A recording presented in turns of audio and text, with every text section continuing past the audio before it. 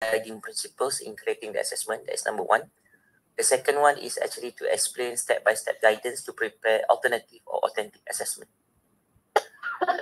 So, apa yang kita plan nak buat ialah kita akan tengok dari segi higher order skills, what is HOTS from the perspective of Bloom taxonomy as well as Solo taxonomy. Kita nak tengok tentang guiding principles, some of the guiding principles yang uh, kalau saya pernah ulang tahun lepas ke, tahun sebelum tu ke, uh, this could be a refresher for you. So, I, I keep actually saying this thing because kalau ikutkan from the educationist point of view, there are of course many principles tapi kita boleh pilih yang mana yang sesuai dan untuk adjust dengan kita punya pelaksanaan implementation. So how do we bring HOTS, okay, bringing HOTS, high order skills in the classroom so that the students can also um, attempt to answer the alternative assessment. And then we're going to look into step by step to prepare alternative assessment. We finally some question and answer. So um, before we move anywhere further, sebenarnya satu benda yang kita uh, saya nak tanya tuan-tuan dan perempuan sekalian. Pernah tak menghadapi suasana yang macam ni? Student datang kat kita, sir, sir, uh, uh, topik apa masuk exam, sir? Okay, that's number one. Second, second one, uh, ataupun dia tanya, sir, sir, saya tak faham lah benda ni. Sir boleh bagi tak contoh kat saya macam mana saya nak senang nak hafal benda ni. Saya nak hafal benda ni. That's number two. Ataupun dia akan cari kat kita, dia kata, sir, yang ni kira masuk kosok mak tak? Ketiga. Okay, ataupun bila dia keluar daripada exam ataupun dia ujian dia kata macam mana soalannya aku tak boleh jawab aku rasa lecturer tak ajar langsung benda ni ha, itu dia antara benda yang benda yang dia kaitkan lah soalan-soalan yang dikaitkan so ataupun dia kata ada macam ha, benda ni kena hafal ni kena hafal. Ataupun dia kena buat teknik mnemonic in order for for them to actually recall the theory and formula and so on. If let's say you have this kind of students who are actually keeping asking you how can I easily remember this? Is this counted for the course of exam? and so on. Student ni kita panggil sebagai kategori dia surface learner. Surface learner maksudnya dia ni macam dia ada different goal in their life yang bukan dia datang kelas kita ni not really for the sake of really learning but it's just for the sake of getting some grade and that's it. And kita sebenarnya uh, and and sometimes ada student yang kalau kita kata surface learner juga not all the time dia akan dapat result the grade sekadar pass ada some student juga yang dipanggil sebagai strategic learner. Also they are also surface learner. Tapi mereka guna cara smart mereka guna cara smart. Uh, dia study past year punya trend. Dia dapat spot some kind of exam question. Dia tahu macam teknik untuk menjawab soalan peperiksaan. Jadi dia dapat good grade juga. Okay, dia dapat good grade. And then another student yang also a deep understanding, deep learner and so on also dapat good grade yang sama dengan dia. Tapi sekarang ni how can we tell which particular student really have a deep understanding on the topic? And that's the reason why some of the some of apa kita kata some of the uh, assessment yang kita berikan ada kemungkinan tak valid ada kemungkinan tak reliable. Ha? Especially kalau soalan-soalan itu ialah soalan yang menguji hafalan, soalan-soalan yang hanya sekadar untuk menguji kefahaman akan tetapi um, um, adakah suara saya tak didengari ke? Dengar ke suara saya?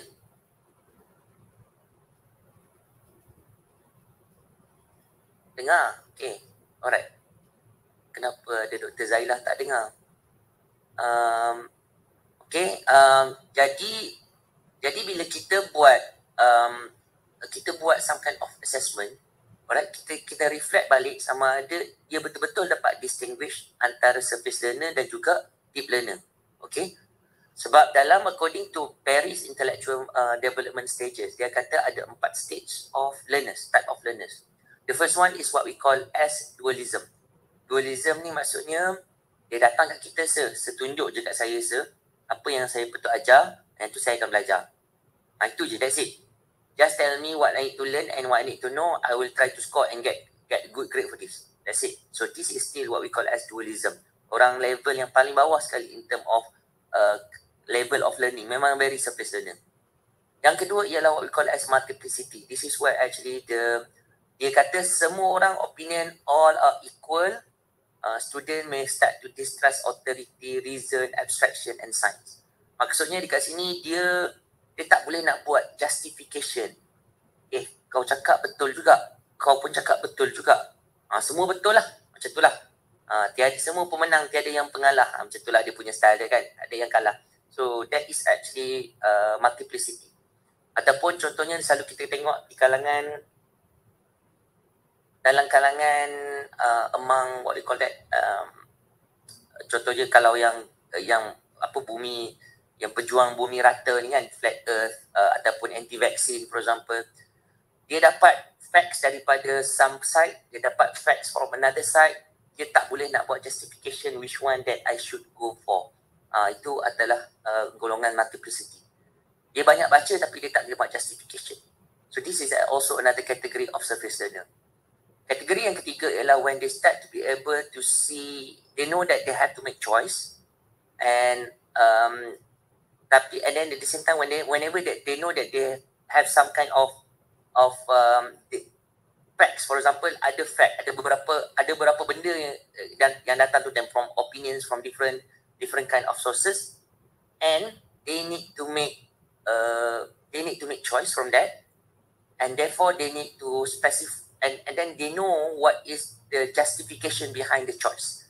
So itu ialah kita panggil sebagai relativism uh, and and the and here students may appear successful. Okay? And finally this is where actually student make commitment. Student make commitment even though katalah contohnya dia ada bila dia perlu buat keputusan um, dan cuma diberikan satu saja satu saja choice. Dia tahu sebenarnya dia also other choices yang dia dia boleh ambil yang dia boleh follow yang dia boleh yang dia boleh evaluate dan dia akan make uh, choice daripada situ So this is where actually the student make commitment. Saya ambil contoh, contoh, contoh macam ni. Stud, uh, mungkin someone dia nak decide dia nak beli handphone baru. Okay, dia nak beli handphone baru. Uh, of course, kalau setengah orang dia akan pakai impulsif punya purchase lah. Okay lah, aku nak terus beli iPhone baru tu lah. That's it. No other choice. Tapi kalau for those who are really a deep learner, dia akan start to investigate. Okay, there are actually several choices of phones uh, should I actually consider Android ataupun should I consider iPhone. Dari situ pada iPhone pula dia ada choices yang lain. Which one did, should I take? Because of what? What's the reason behind that? Kenapa I need this capacity and so on. Jadi dia sendiri make that choice. Dia sendiri yang buat decision to make some kind of criteria for him to make that choice. So that is actually what we call as commitment. Student yang sudah sampai level commitment and they are actually a category of deep learner. So the question, the next question is how can we identify and how we can actually promote our surface learner to become deep learner and at the same time, how can we be just dalam actually when we are assessing our student. Because right now, kalau contoh saya tengok, kalau kita kata based on our close-ended exam lah, examination. Uh, close-ended examination punya style uh, student kena jawab exam lepas tu exam tak boleh bawa buku tak boleh buat apa-apa mesti kena jawab exam close ended eh. Would that be able to identify the surface learner and deep learner? Yang boleh jawab kalau dekat letak dekat chat. Adakah boleh ke tak close ended examination? Kita sebenarnya identify betul-betul dia ni surface learner dia ni deep learner dia ni strategic learner ada kemungkinan kita tak dapat eh.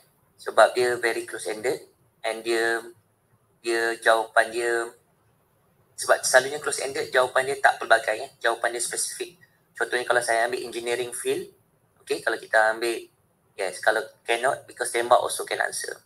Sebab kalau contohnya saya ambil engineering field, selalunya bila close ended ni ambil equation, plug in, dapat jawapan, letak justification, selalunya justification ni jawapan yang sama je antara semua student sebab dia dah hafal sebab dia dah go through the same process over and over again.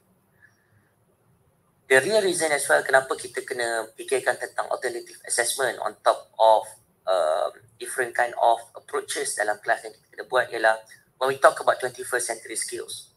Okay? What skills are changing and needed? What skills are changing and needed? So, kalau kita tengok keperluan kepada 21st century skills is actually we need to have um, kemahiran seperti analytical thinking and innovation. We need to have skills such as complex problem solving, active learning and learning strategies, critical thinking and analysis, creativity, originality and initiative, and so on and so on. So kita tanya balik diri kita, when we look at our assessment yang kita buat, adakah assessment tersebut dapat memenuhi keperluan-keperluan ini? Contohnya, adakah assessment kita bring the students to the level of analytical thinking? Adakah assessment kita bring the students towards complex problem solving? Adakah assessment kita betul-betul menguji kemahiran berfikir kritikal pelajar-pelajar kita dan betul-betul dapat berupaya menguji creativity, originality of our student punya work. So if let's say it be able to fulfill that, that's good. But if let's say we are just doing the assessment just for the sake of grading the student, whether the students are good or bad, we need to reflect ourselves to an extent sebenarnya kita are doing just to the student in assessing them. Kenapa? Sebab these particular skills are the most important skills yang pelajar-pelajar kita perlukan when they when they become the future ready graduate. They become future ready because they need these skills. Bukan kemahiran tembak, bukan kemahiran menghafal, bukan kemahiran hafal lepas tu luah. Not, not, not this kind of thing. They need this kind of skill. So how just we are as the educator in assessing them according to the skills that they need for the future. Itu adalah soalan yang kedua yang kita kena fikirkan dan muhasabah diri lah. Okay. And, and as such sebenarnya bila kita nak student-student kita reach creativity, communication, leadership, team working, professionalism and so on, kita kita kena fikirkan bagaimana sebenarnya kita nak apa benda kita boleh buat macam mana kita nak dapatkan all these skills dalam uh, the green box here uh, this is where actually we can start doing. Contohnya kita kena start gunakan faculty centered towards learner centered. Maksudnya daripada teacher centered kita move kepada student centered. Kita kena allow banyak on discovery based or constructive learning. Maksudnya pelajar-pelajar perlu diberikan peluang untuk make a lot of discovery okay and then belajar atas pengalaman experiential learning yes okay So assessment dia should go towards the experience. System perspective. Avoid content orientation. For example like um, instead of kita puluh nak habiskan syllabus, why not we think about the students uncover the syllabus, learning how to learn skill, inquiry based scientific methods, team based problem solving processes and so on. So that is actually somehow the elements that is needed for the students apa yang kita perlu buat untuk memastikan pelajar-pelajar kita ada kemahiran-kemahiran yang kita nak tadi. So towards towards extent yang sebenarnya yang kita uji um, pelajar-pelajar kita tadi. Okay? So let us talk about HOTS ataupun kalau dalam bahasa Melayu dia ialah kebat lah. Kemahiran berfikir aras tinggi. Perhaps you can share with me okay, what is HOTS or kebat according to your understanding. And click the link dekat chat ataupun boleh juga pergi ke www.menti.com and use the code 61850903. Okay, 61850903. What is actually KBAT or HOTS according to your understanding? Please share.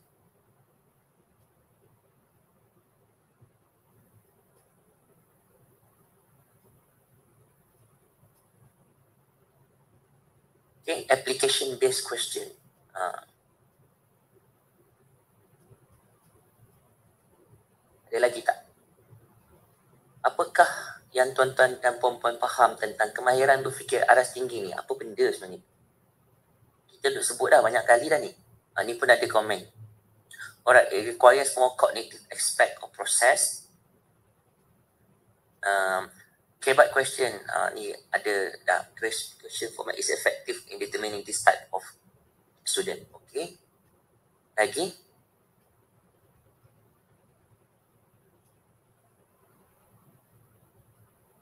Boleh komen eh. Boleh komen dekat Mentimeter. Please use the Mentimeter. Ramai participant ni. Saya bagi masa kejap. Satu minit untuk respon.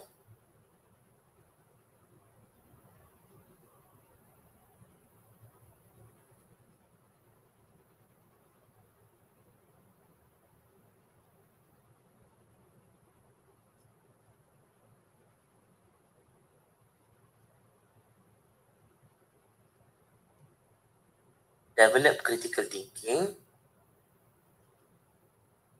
capable critical thinking, problem solving, okay, solving, involve critical thinking and application of facts, concepts, okay, analyzing and observation, apa lagi?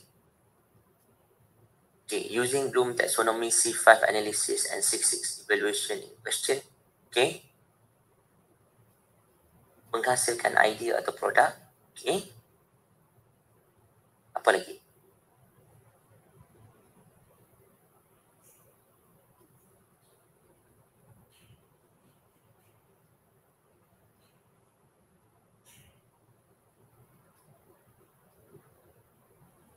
Yang lain-lain macam mana?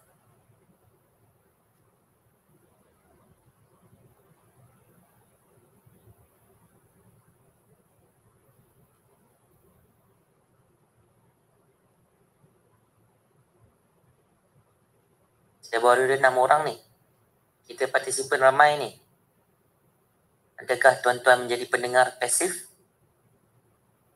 Promote higher order thinking skill like critical, creative, problem solving, etc. Okay, higher order thinking skill like critical, creative. How they apply the theories into applications? Okay, that is also another answer dekat chat tadi. Kalau tak ada idea hot tu apa tulis je tak ada idea. Tak siapa nobody knows. Ni ni memang uh, anonymous platform. Saya saya tak tahu pun siapa yang komen apa. If let's say you never heard before apa tulis je i never heard before. Ke tak pernah dengar langsung sebenarnya tentang what is actually hot high order thinking skills ataupun kebat. Involve analytical and creative problem solving skills to answer. Okay it involve analytical and creative problem solving skills to answer. And you apply the concept okay? Okay. So kalau kita sebenarnya kita nak tengok HOTS ataupun kebat ni uh, dia punya able to apply the concept learn in various setting. Oh, budaya berfikir elastik so kalau kita nak tengok sebenarnya konsep kebat ni dia sebenarnya ialah salah satu ukuran. Ukuran eh dia salah satu measurement untuk ukur kemahiran berfikiran critical critical thinking of of the students. To the extent that our student have achieved what we call as critical thinking. And therefore in order to do so kita banyak bersandarkan kepada Bloom taxonomy lah. In order for us to measure the level of hotness okay? Hotness of our students okay? Maksudnya dari segi kekebatan mereka tu uh, kita boleh measure guna dengan um, what we call as uh, Bloom taxonomy. So Bloom taxonomy as we know dia ada enam level. Ada enam level. Yang pertama sekali ialah kita start dengan activity remember. Yang kedua ialah understand. Yang ketiga ialah apply, analyze, evaluate and finally create. So this is a revised Bloom taxonomy. Eh. Kalau sebelum uh, sebelum Bloom, Pakcik Bloom dia meninggal, dia actually create kat bawah, evaluate kat atas macam tu. Tapi dia punya anak murid dia, dia ubah. So there is a revise. So what is actually that we can say about Bloom taxonomy ni, it is actually the thinking process that happen to the student. Thinking process, okay? So contohnya bila student kita diajar untuk, uh, for example lah, katalah kita nak minta pelajar kita apply the theory ataupun apply the formula dalam some kind of calculation, to calculate something lah, calculate ke demonstrate something, okay? Dia punya keyword dari kat sini. So in order for the students to apply it, okay, to apply the formula, first thing first, dia kena remember dulu, dia kena recall dulu formula apa sebenarnya. Okay, and then lepas tu dia kena faham formula tu nak guna, they be able to explain uh, the ideas or the concept. They be able to explain sebenarnya formula tu pasal apa, tentang apa. Dan barulah dia boleh apply that particular formula. So maksudnya dekat sini ialah um, in order for the students to be using the higher the level it is, So the more thinking process involved dalam nak mencapai kepada tahap yang lebih tinggi. So we always say that level 1, level 2, level 3 ni selalunya uh, level 3 ada yang kata level 3 ni masih low order thinking skills, ada yang tak kata this is already move towards high order thinking skills. But level 1 and level 2 is confirmed as lower order thinking skills. But level 4 sampai level 6 is what we call as higher order thinking skills ataupun dipanggil HOTS. Okay. Sebab apa? Sebab kita nak masuk, kita nak, in order for us, for example kalau kita kata student diberikan several data and they need to analyze it and they need to make some kind of comparison of the data, contohnya. Before the student be able to do the analysis, yang pertama sekali dia kena recall dulu apa benda, apa benda data tu berkaitan dengan apa. Dia kena faham dulu, understand dulu, dia kena apply dulu. Okay, barulah dia akan level sampai level make some kind of analysis. Barulah dia boleh buat level so. So that's why the process tu dia akan berlaku daripada bawah juga. So the idea is kalau kita gunakan, contohnya saya saya saya faham tuan-tuan dan puan banyak gunakan verb dalam Bloom taxonomy for your assessment, betul tak? Maksudnya bila nak buat soalan exam, kita pilih, okay, I want to use the verb evaluate. So, so terus kita claim this is C5. Ataupun kita kata kita nak guna perkataan kritik.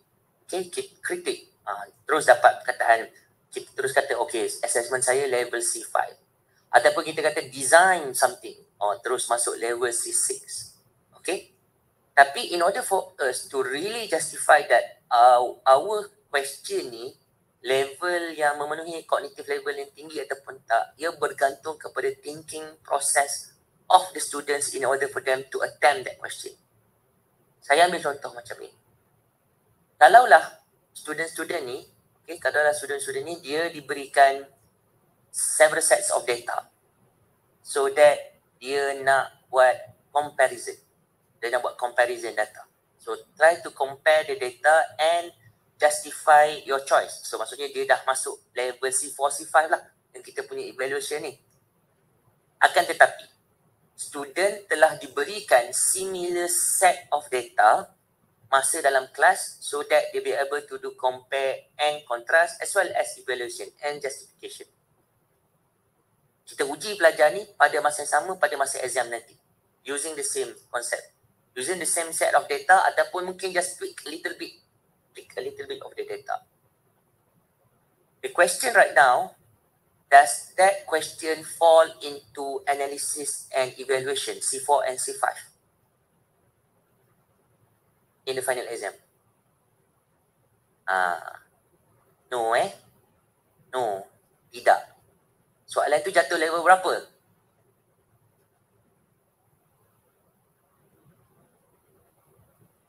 Yes, it could fall sampai level recall sebenarnya. Sebab student boleh menghafal sahaja apa benda yang dah dibuat. Lepas tu lecturer pun bagi hint, tak apa kamu baca je textbook, baca je lecture slide semua tu, nanti adalah keluar soalan lebih kurang macam tu.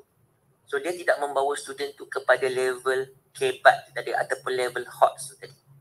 Faham eh? Dia tak akan bawa student ke level hot tu tadi. Akan tetapi contohnya katalah okay now the students were given different kind sets of data dalam final exam. Tapi dia punya algorithm, dia punya procedure in order for them to do the analysis is the same. Is it bringing them to level analysis and evaluate? level C4, C5? Ini tadi. Okay, Dr. Samsel kata yes. I say yes, okay. Pada saya sebenarnya dia mungkin tak sampai. Dia mungkin setakat level 3 sahaja. Sebab it's just application of the similar technique, similar algorithm yang dia dah lalui, yang dia buat semula pada masa final exam. Nampak?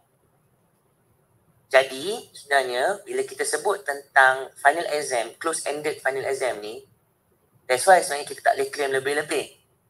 Dia paling tinggi, level paling tinggi dia boleh sampai pun ialah analisis saja, level C4. So suddenly kalau kita claim kita buat final exam, close ended final exam, kita kata dia sampai level C5, level C6, that is not correct. Dia tak akan dapat bawa kita ke situ. Whenever that you want to go for level C4, C5 and C6, it has to be what we call as open-ended. It has sometimes it has to be open-ended, has to be sometimes open book. Sometimes it has also to be team-based punya activities. Sebab sometimes the it, the complexity of it, requires a collaboration between the student in order for them to solve that kind of problem. Boleh eh? Faham eh? Nampak? Nampak eh? Kat situ? Okay. Let's have a look at um, uh, what we call as uh, Bloom taxonomy uh, solo, solo, solo taxonomy. So solo taksonomi ni saya suka gunakan dia sebagai satu sandaran kepada saya untuk mencipta rubrik for for assessment, especially the open-ended rubric. Because for me, by understanding solo taxonomy, it can clearly define the deep learner as well as the surface learner. Okay, the deep learner as well as the surface learner. So when we talk about um, solo taxonomy, contohnya kalau lah student tu bila kita tanya dia, what is a cow? apa itu lembu. Tapi kalau student tu jawab dia kata uh, lembu is a, a cow is it is when it is milking. Maksudnya bila lembu tu bagi susu it is a cow. So maksudnya dia only have one idea of it. So when, bila dia ada one idea of it kita, kita panggil unit structure level. Tapi kalau kita tanya what is a cow? Uh, tak tahu apa-apa. Uh, maksudnya dia tak sure about the subject. Ini memang pre-structural level lah. Ataupun dia kata bila kita tanya what is a cow? A cow ni is when um, dia dia hidup, dia boleh bagi kita susu tapi bila kita, when we slaughter, it give a milk, fats and leather for example. So that is what we call as multi-structural level. Still, this particular student fall into what we call as surface understanding. But when the student can start to link the ideas, contohnya dia boleh kata there are several type of cow tapi dia ada uh, com- the comparison is it, for example, the Angus cow ni dia besar tapi susu dia sikit, uh, Hershey cow, uh, apa, jersey kau ni pula uh, size dia kecil tapi susu dia banyak uh, contoh something like that. They start to make some kind of comparison. So that is what we call as relational level kalau dia contohnya dia boleh connect dengan apa yang dia belajar last week dengan apa yang dia belajar this week. Maksudnya student tu ada nampak connection uh, that is actually what we call as relational level. But the students who actually reach at the standard abstract level is someone who be able to see things beyond even beyond what the teachers can see. Contohnya when they say be able to connect the knowledge yang kita ajar dalam kelas dengan something yang dia come across by, him, by herself. Contohnya dia tengok surrounding dia, dia tengok sekeliling dia, dia boleh buat as a good example relationship with it. Itu maksudnya student yang dah sudah sampai kepada at the extended abstract level. So again, in order for us to test which particular student fall into deep understanding or surface understanding, it's quite difficult. It's very difficult. I think it is impossible to be using close-ended examination to do so. So we must come up with different kind of assessment, alternative assessment, in a way that we be able to measure accurately which student that is having a deep understanding, which student is not, which particular student yang tak ada. Alright, kita nak buat some exercise sebenarnya. Uh, yang ambil masa sikit ialah kita nak buat exercise. Uh, kita sebab tu saya tanya semua lokal kan sebab kita saya nak bagi satu peribahasa ni malu bertanya sesat jalan malu bertanya sesat jalan macam mana kita nak buat soalan level C1 sampai C6 according to Bloom taxonomy ni okay kalau kita boleh faham kita ambil level level C1 uh, Bloom taxonomy sampai level C6 of Bloom taxonomy so um, why not kita pergi kepada menti ni alright cuba tuan-tuan dan puan-puan menggunakan peribahasa malu bertanya sesat jalan ni dan um, buat satu soalan level C1. Cuba type kat sini ataupun type dekat chat pun boleh. Terima kasih eh. Kita kita ada exercise ni kita buat sikit-sikit supaya tuan-tuan dan puan-puan dapat clear tentang pembinaan soalan berdasarkan taksonomi. Okay. Malu bertanya sesat jalan. C1 question soalan macam mana yang kita boleh tanya kepada student saya nak minta tuan-tuan dan puan-puan okay, gunakan link dekat uh, Mentimeter ni and then um, buat soalan create, create your own question berdasarkan level of taxonomy so sekarang ni um, saya tanya dekat uh, apa dekat Mentimeter ni uh, apa apa apa soalan yang kita boleh tanya? Kalau menggunakan peribahasa ni untuk student dengan menggunakan peribahasa ni apa soalan yang boleh tanya untuk mencapai level C1 maksudnya level level paling bawah lah recall. So kita ada kat sini uh, Nur Shima ni dia kata apa maksud malu bertanya sesat jalan? Okay, apakah maksud malu bertanya sesat jalan ada lagi tak soalan apa lagi kita boleh buat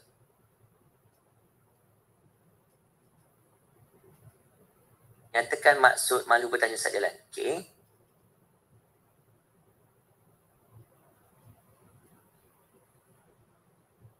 Ni level 1 eh. Sila isi tempat kosong. Ha, malu bertanya. Ha, lepas tu isikan tempat kosong. Okay. Uh, adakah malu bertanya saat jalan satu peribahasa? Uh, yes or no jawapan dia kan. So maksudnya dia level untuk recall. Ah uh-uh lah, betul lah, dia peribahasa lah. Okay, betul. Definisi malu bertanya saat jalan. Okay, define. Define. Okay. Alright. So nampak eh? So this is actually level C1. Berikan pengertian peribahasa malu bertanya saat jalan. Okay. Boleh? Okay. So sekarang, katalah kita nak masuk level uh, C2. Okay, kita masuk pula level C2. Macam mana soalan yang kita boleh patut olah untuk C2? Apa bentuk instruction yang kita pakai kalau untuk C2? C2 ialah um, understanding. Eh? Kita nak measure the understanding. Kita nak measure the uh, be able to describe, to explain about it and to uh, dia, dia maksudnya kita nak nak bina kefahaman dia tentang this peribahasa. Cuba fikirkan apakah instruction yang sesuai untuk kita berikan kepada pelajar-pelajar if let's say we want to test this question. And remember eh, uh, remember uh, bila kita nak masuk C2, maksudnya C1 akan berlaku, C1 juga akan berlaku. Bila kita nanti kita nak masuk C3, C1 dan C2 juga akan berlaku sama. Thinking process tu berlaku. Terangkan maksud malu bertanya saja lah. Tapi yang ini ini yes, ini it can fall under C1 dengan C2 sebab sometimes it could be a definition yang macam dia just hafal uh, ataupun berikan contoh situasi untuk peribahasa malu bertanya saja lah. Okay? That is also, maksudnya student dah start to look at uh, situational eh. Uh. Ataupun kita mungkin kita boleh bagi, kita bagi situasi kepada student uh, apakah apakah peribahasa yang sesuai contohnya dengan dengan um, senario ni.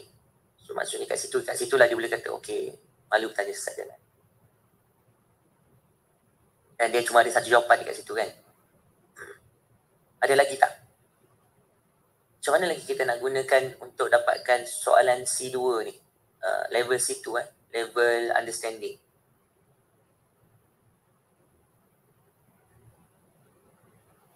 Kalau tak kat chat pun boleh. Uraikan maksud peribahasa malu bertanya sajalah. Yes, uraikan. Uh, that's a good one. Apakah yang anda faham mengenai peribahasa malu bertanya sajalah dan berikan contoh. Okay, that's a good one. Uh, terangkan maksud berserta contoh untuk peribahasa malu bertanya sajalah. Okay. So that is level situ lah. Maksudnya proses yang kita lalui ialah first thing first dia kena recall dulu. Malu bertanya sajalah tu apa eh? Okay, dia dah faham. Dan lepas tu dia boleh bagi contoh. Contoh berkaitan. So that is actually level situ.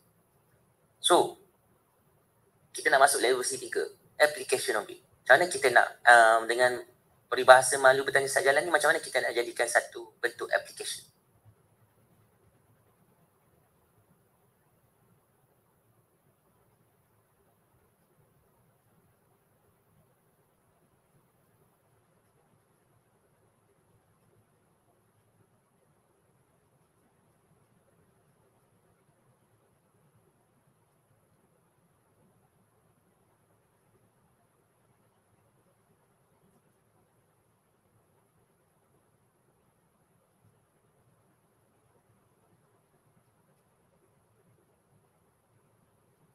Ha, dah masuk level C3 ni dah dah dah start uh, pening eh.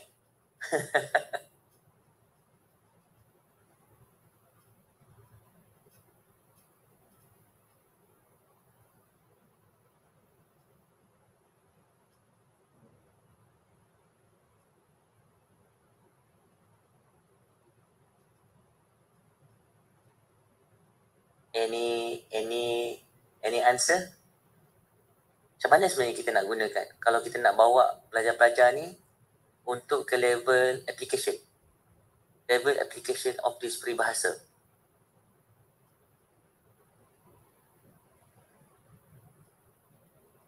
Okay, ha, okay. ada jawapan. Tulis dialog yang sesuai dan masukkan peribahasa di atas. Sebab student kat sini dia akan guna, dia akan apply dialog. Okay, dia akan apply dia punya knowledge dia dalam dialog dan dia akan apply knowledge dia tentang kefahaman dia tentang peribahasa. So when they combine together, dia dah jadi macam uh, application lah. how to apply in real life malu bertanya sesat jalan. Okay.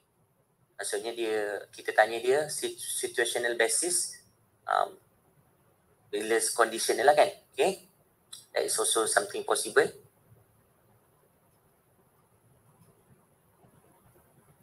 Gambarkan situasi malu bertanya sesat jalan.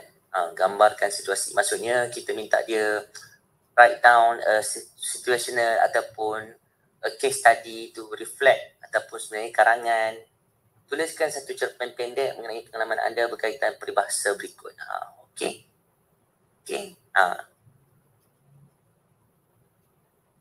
Uh, kalau terangkan tu, uh, terangkan maksud tu dia dah uh, patah balik jatuh level 2 uh, apa Puan Noshima. Okay, dia dah jatuh level 2. Maksudnya dia, dia tak ke level 3. Tapi level 3 more on applying that kind of knowledge somewhere else. Uh, macam dia kalau kita tengok dapat contoh kat sini ialah when they start to use masukkan dalam cerpen, masukkan dalam dialog. Uh, itu adalah um, apa some kind of um, uh, situation apa application basis lah kat situ. Maksudnya dia dah start apply. Peribahasa malu bertanya saat jalan merujuk kepada kepentingan untuk bertanya sekiranya seorang tidak tahu tentang sesuatu perkara. Sebagai seorang pelajar universiti, bagaimanakah peribahasa ini relevan dalam hidup anda? Okay. Uh, ini ini actually soalan ni soalan ni sebenarnya kalau kita tengok boleh kita push sikit kepada sampai level dia buat uh, uh, boleh lah level C3 okay. Tapi kalau saya saya tweak sikit saya boleh bawa dia kepada level C4 tapi this, this is a good a good one. Maksudnya dia cuba nak kaitkan dengan application dengan diri dia. Dan macam mana dia nak um, dia nak peribahasa ni relevan okay? Uh, nak gunakan peribahasa ni dalam dalam dalam kehidupan dia okay? Bincangkan apakah kesan daripada peribahasa malu bertanya sesat jalan pada diri anda. This is also this is also something yang um, you can also bring it to a bit higher level. Nampak tak? Uh, kesan daripada peribahasa sebab dia nak associate dengan diri sebab dia ada some kind uh, dua contoh utama eh, yang ni dengan contohnya ini kita boleh upkan sikit dia nanti kita boleh tweak sikit supaya kita boleh bawa sampai level kepada analisis. But this is a good one. This is a good one. Um, cumanya yang macam tadi, most of it yang tadi yang uh, that is example of level 3. Okay, sekarang ni saya nak challenge tuan-tuan dan puan-puan daripada dua ni, okay, daripada dua dua topik, dua, dua contoh soalan kat sini, kita bawa kepada level C4 macam mana kita nak jadikan soalan tu kepada level C4 ataupun ada contoh-contoh lain yang tuan-tuan dan puan rasa sebenarnya C4 tu macam mana? You remember eh C4 ni berkaitan dengan buat some kind of comparison uh, buat some kind of analysis. So how do we actually uh, masukkan contoh malu tanya saja lagi sebagai some kind of um, analysis kind of question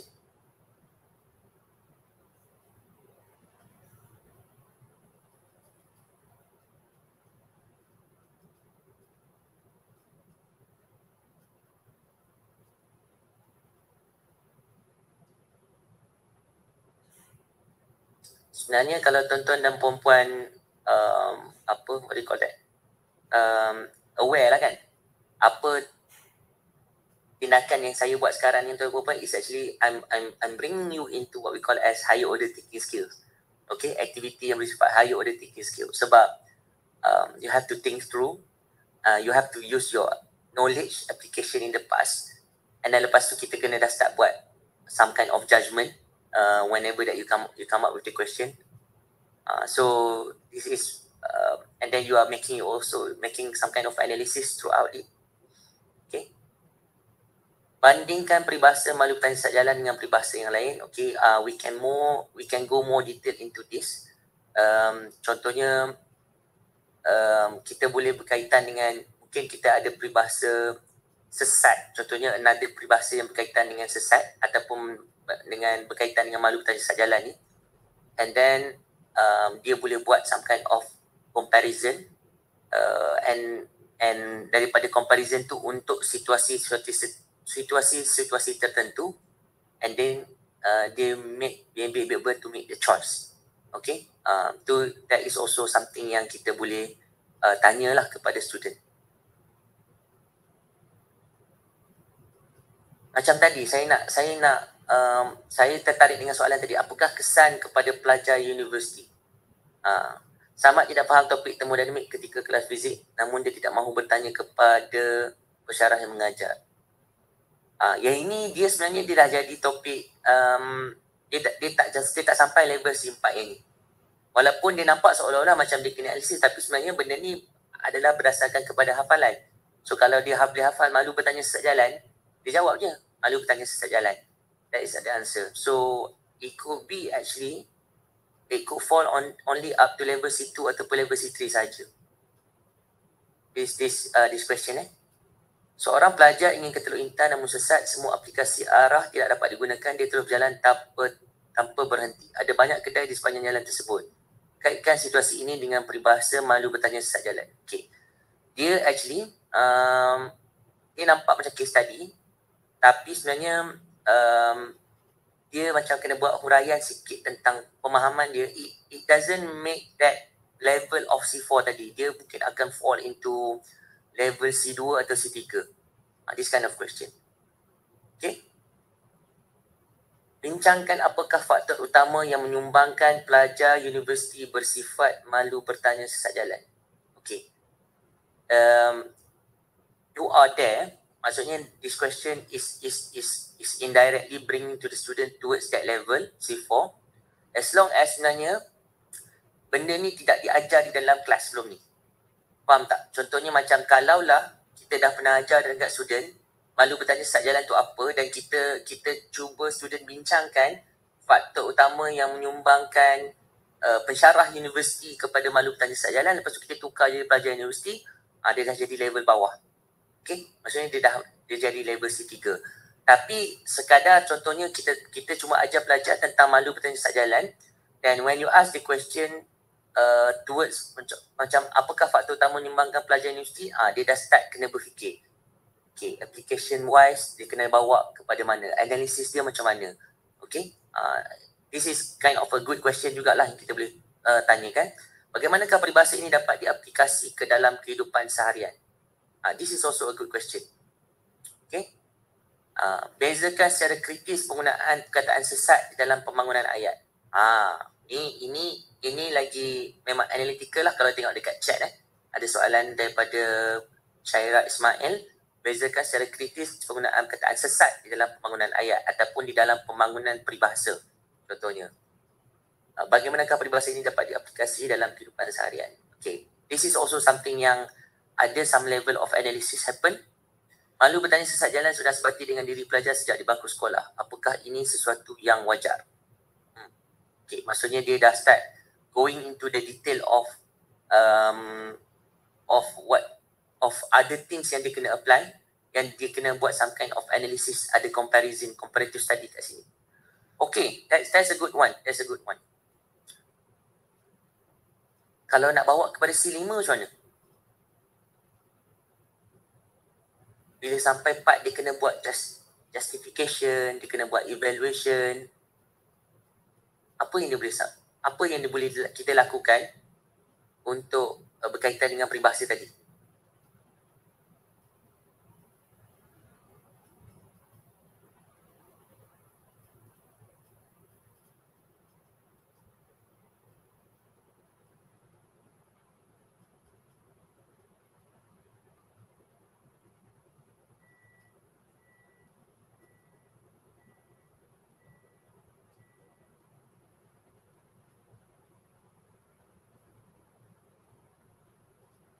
rangkaian ayat yang menggunakan perkataan sesat dan malu. Um, dia kalau karangkan ayat yang menggunakan perkataan sesat dan malu ni mungkin dia dah jadi level application, dia jadi level C3.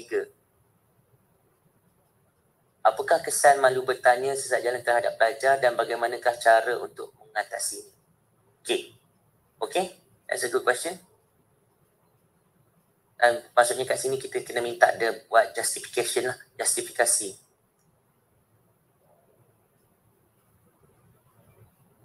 Apa lagi soalan-soalan yang kita boleh guna untuk bawa kepada student level C5?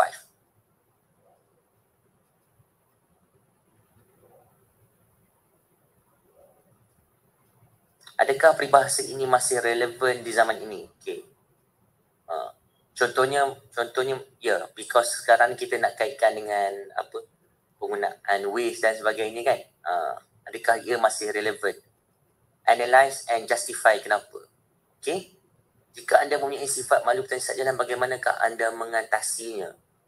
Uh, bincangkan. Uh, ni dah look into different kind of aspect lah different kind of uh, dari segi emotional dia, psikologi dia ke contohnya kan. Uh, it's a combination of so many things. But again, as I said lah, kalau contohnya benda-benda macam ni, kita dah, kita, kita, kita, kita dah pernah buat kind of this kind of exercise, similar buat exercise, um, cuma tweak here and it, dia dah tak jadi level tu kepada level kebat dah. Okay, dia, dia terpaksa dia akan jatuh kepada level-level bawah dia akan jatuh pada level yang lebih bawah.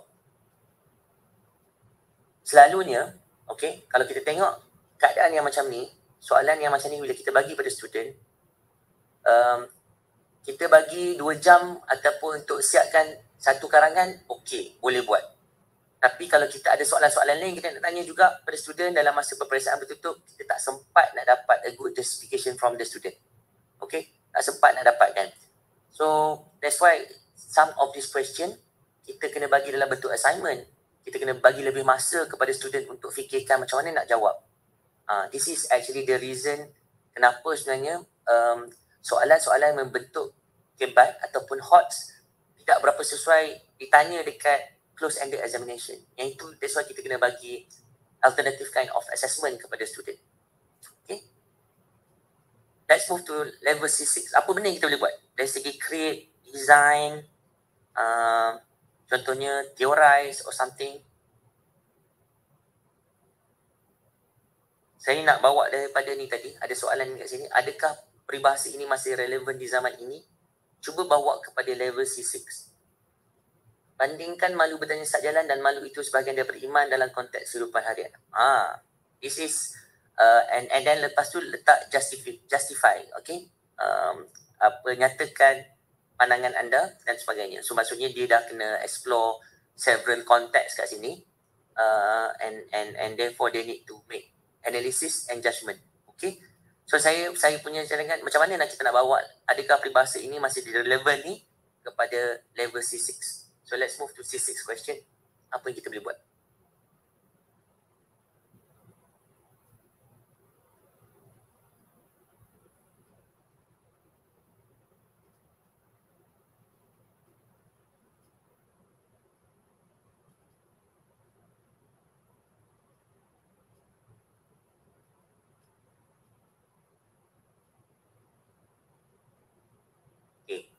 Maksudnya dia dah ada proposal eh. Pepatah selalu mengatakan malu bertanya sesat jalan, cadangkan cara yang dapat diambil oleh seseorang bagi mengatasi masalah malu dalam aspek kelangsungan hidup. Okey.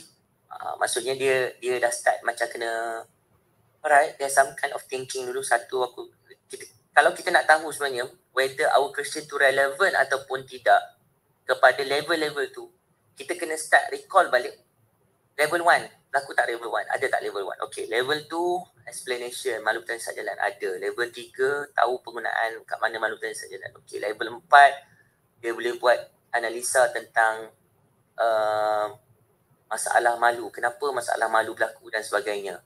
Fine. Level yang kelima, dia dah kena buat justification. Cadang uh, kenapa masalah malu berlaku dan macam mana malu bertanya um, mungkin okey bila kita fikir balik okey mungkin uh, soalan ni tak sampai level 6 kena sampai level 5 saja.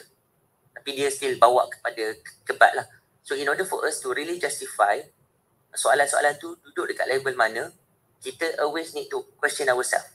Adakah proses-proses thinking proses tu berlaku dalam tu? Dia bukan sekadar penggunaan verb sahaja. Saya rasa ini memang salah satu salah salah faham yang sangat besar lah sebenarnya Uh, sebab saya pun pernah come across. Ada ada cara contohnya dia dia sebenarnya dia, dia guna perkataan evaluate evaluate the parameters bla bla bla.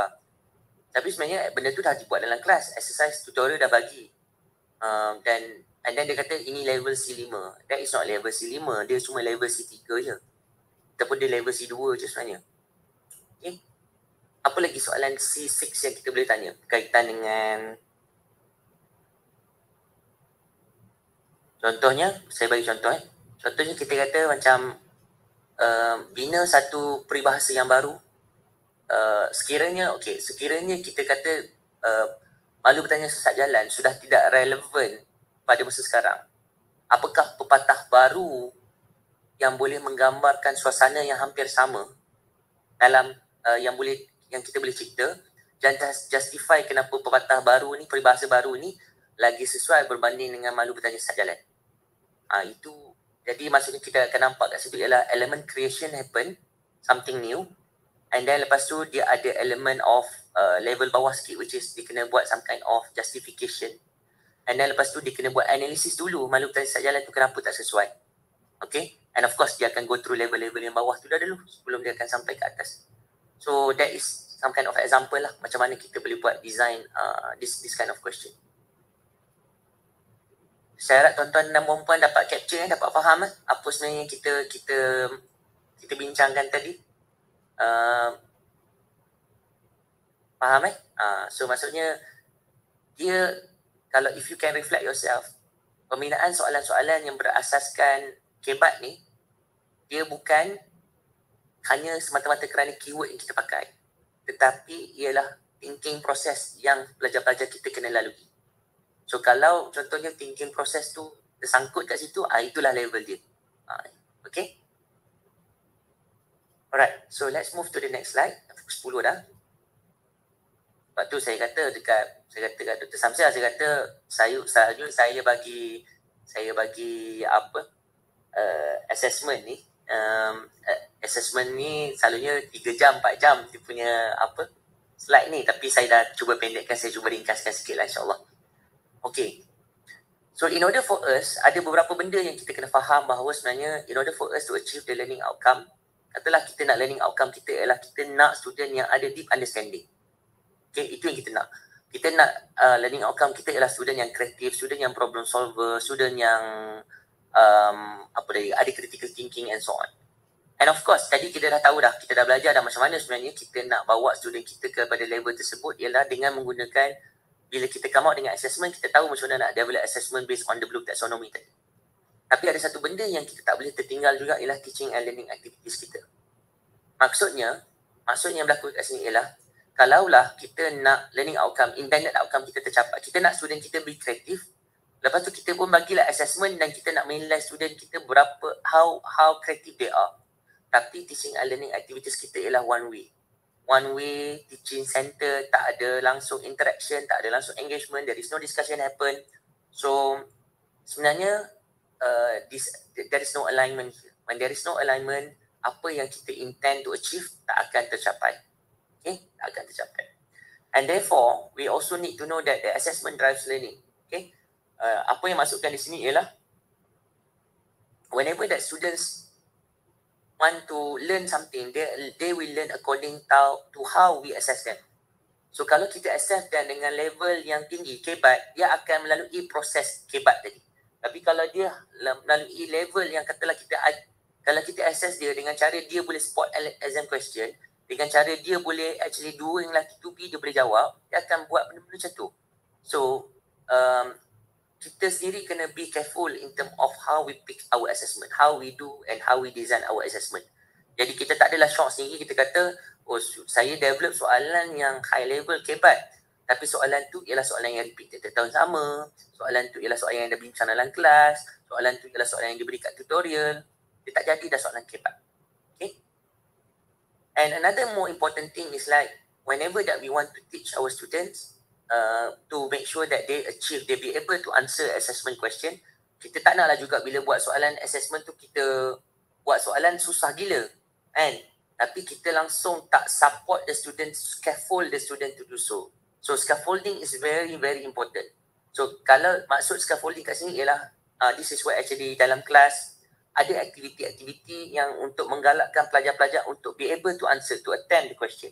Contohnya, kalau towards the end, of the semester kita nak test student dengan open ended assessment.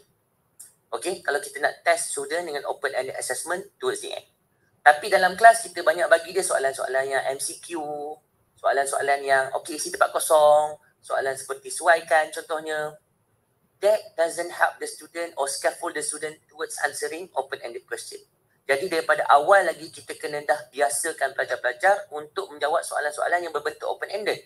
Mungkin dalam kelas kita boleh buat team-based open-ended ataupun team quiz tapi open-ended ataupun uh, some kind of assignment yang yang bersifat open-ended. Dia dah dia dah go through that direction. Barulah pelajar-pelajar be able to prep themselves towards the end. Tapi kalaulah cuma final question saja open-ended, tapi along the way, it doesn't happen that way, maksudnya kita tak menyediakan pelajar ke arah tersebut dan dan the, the, the students will terribly fail lah um, in, in, in order for them to attempt the, the assessment. So that's why it is very important to put in as scaffolding. So when we put the scaffolding, the student will achieve the assisted level lama-lama kita cabutlah scaffolding tu. Mungkin mula-mula kita buat team base. Tapi lepas tu the next one kita rasa student dah okay, kita kita buat individual base pula contohnya. Okay? So this is where actually we design our activities. Kita punya teaching and learning activities, kita punya assessment-assessment yang kita susun dalam dalam sama ada dia berbentuk formative ataupun summative. Everything it become step ataupun steps kepada pelajar-pelajar kita to achieve the intended learning outcome. So that's why we need to recall balik kita muhasabah diri kita balik, tengok balik soalan-soalan yang kita berikan. Assessment-assessment yang kita berikan. Adakah semata assessment ni untuk isi uh, template coursework mark? Okay. Ataupun memang assessment kita beri supaya student dapat increase dia punya understanding towards the topic ataupun assessment ni dapat membantu dia untuk dia be able to achieve the outcome yang kita dah set towards the end. Uh, itu yang something yang kita kena ponder upon lah. Kita kena fikirkan. So when we talk about HOTS in class, right? Um, what have you done actually so far? So the question, the next question is saya nak tanya, how do you usually cognitively engage with your student in the class? Not online lah, uh, dalam classroomnya sekarang sebab saya tak pastilah UITM masih online ke ataupun uh, physical dah. Tapi kalau physical pun you, you actually boleh uh, boleh ni lah uh, boleh jawab juga soalan ni. Ni saya lupa pada online tadi. Wan Samsia, uh, Dr. Samsia, sana sana online lagi ke ataupun dah fizikal dah? Dia hybrid, Dr. Oh, hybrid. Okay, okay. Tak apalah, jauh dulu boleh. So, sekarang ni, my question is, how do you usually cognitively engage with your student in the classroom? Macam mana apa yang you all buat untuk engage the student in the classroom? Okay, tolong uh, boleh jawab uh, dekat Mentimeter pergi dekat ni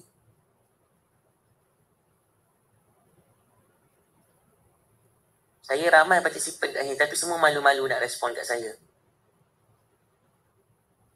Boleh klik the link eh?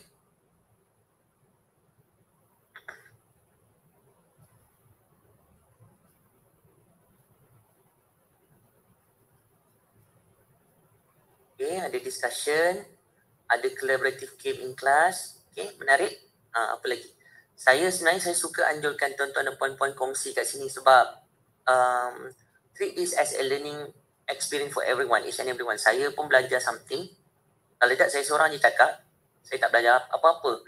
So that's why saya selalu uh, minta everybody to participate and comment on something what have you done um, so that we can actually we can um, we can learn from each other lah. Uh, yang lain?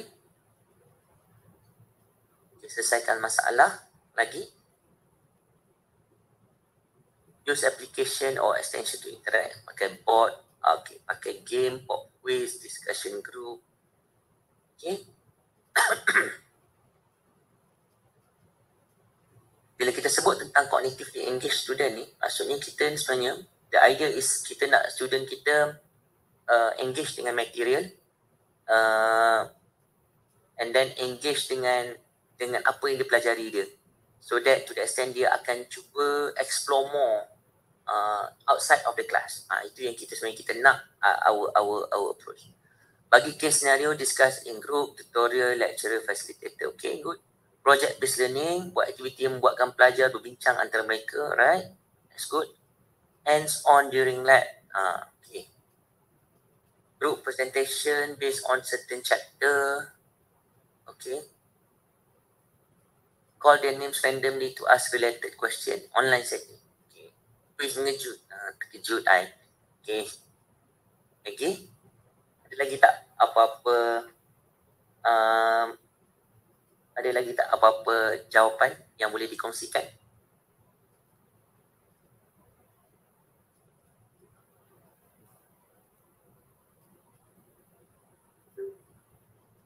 Jigsaw activity. Ah, bagus. Ah, boleh buat jigsaw. This is also something.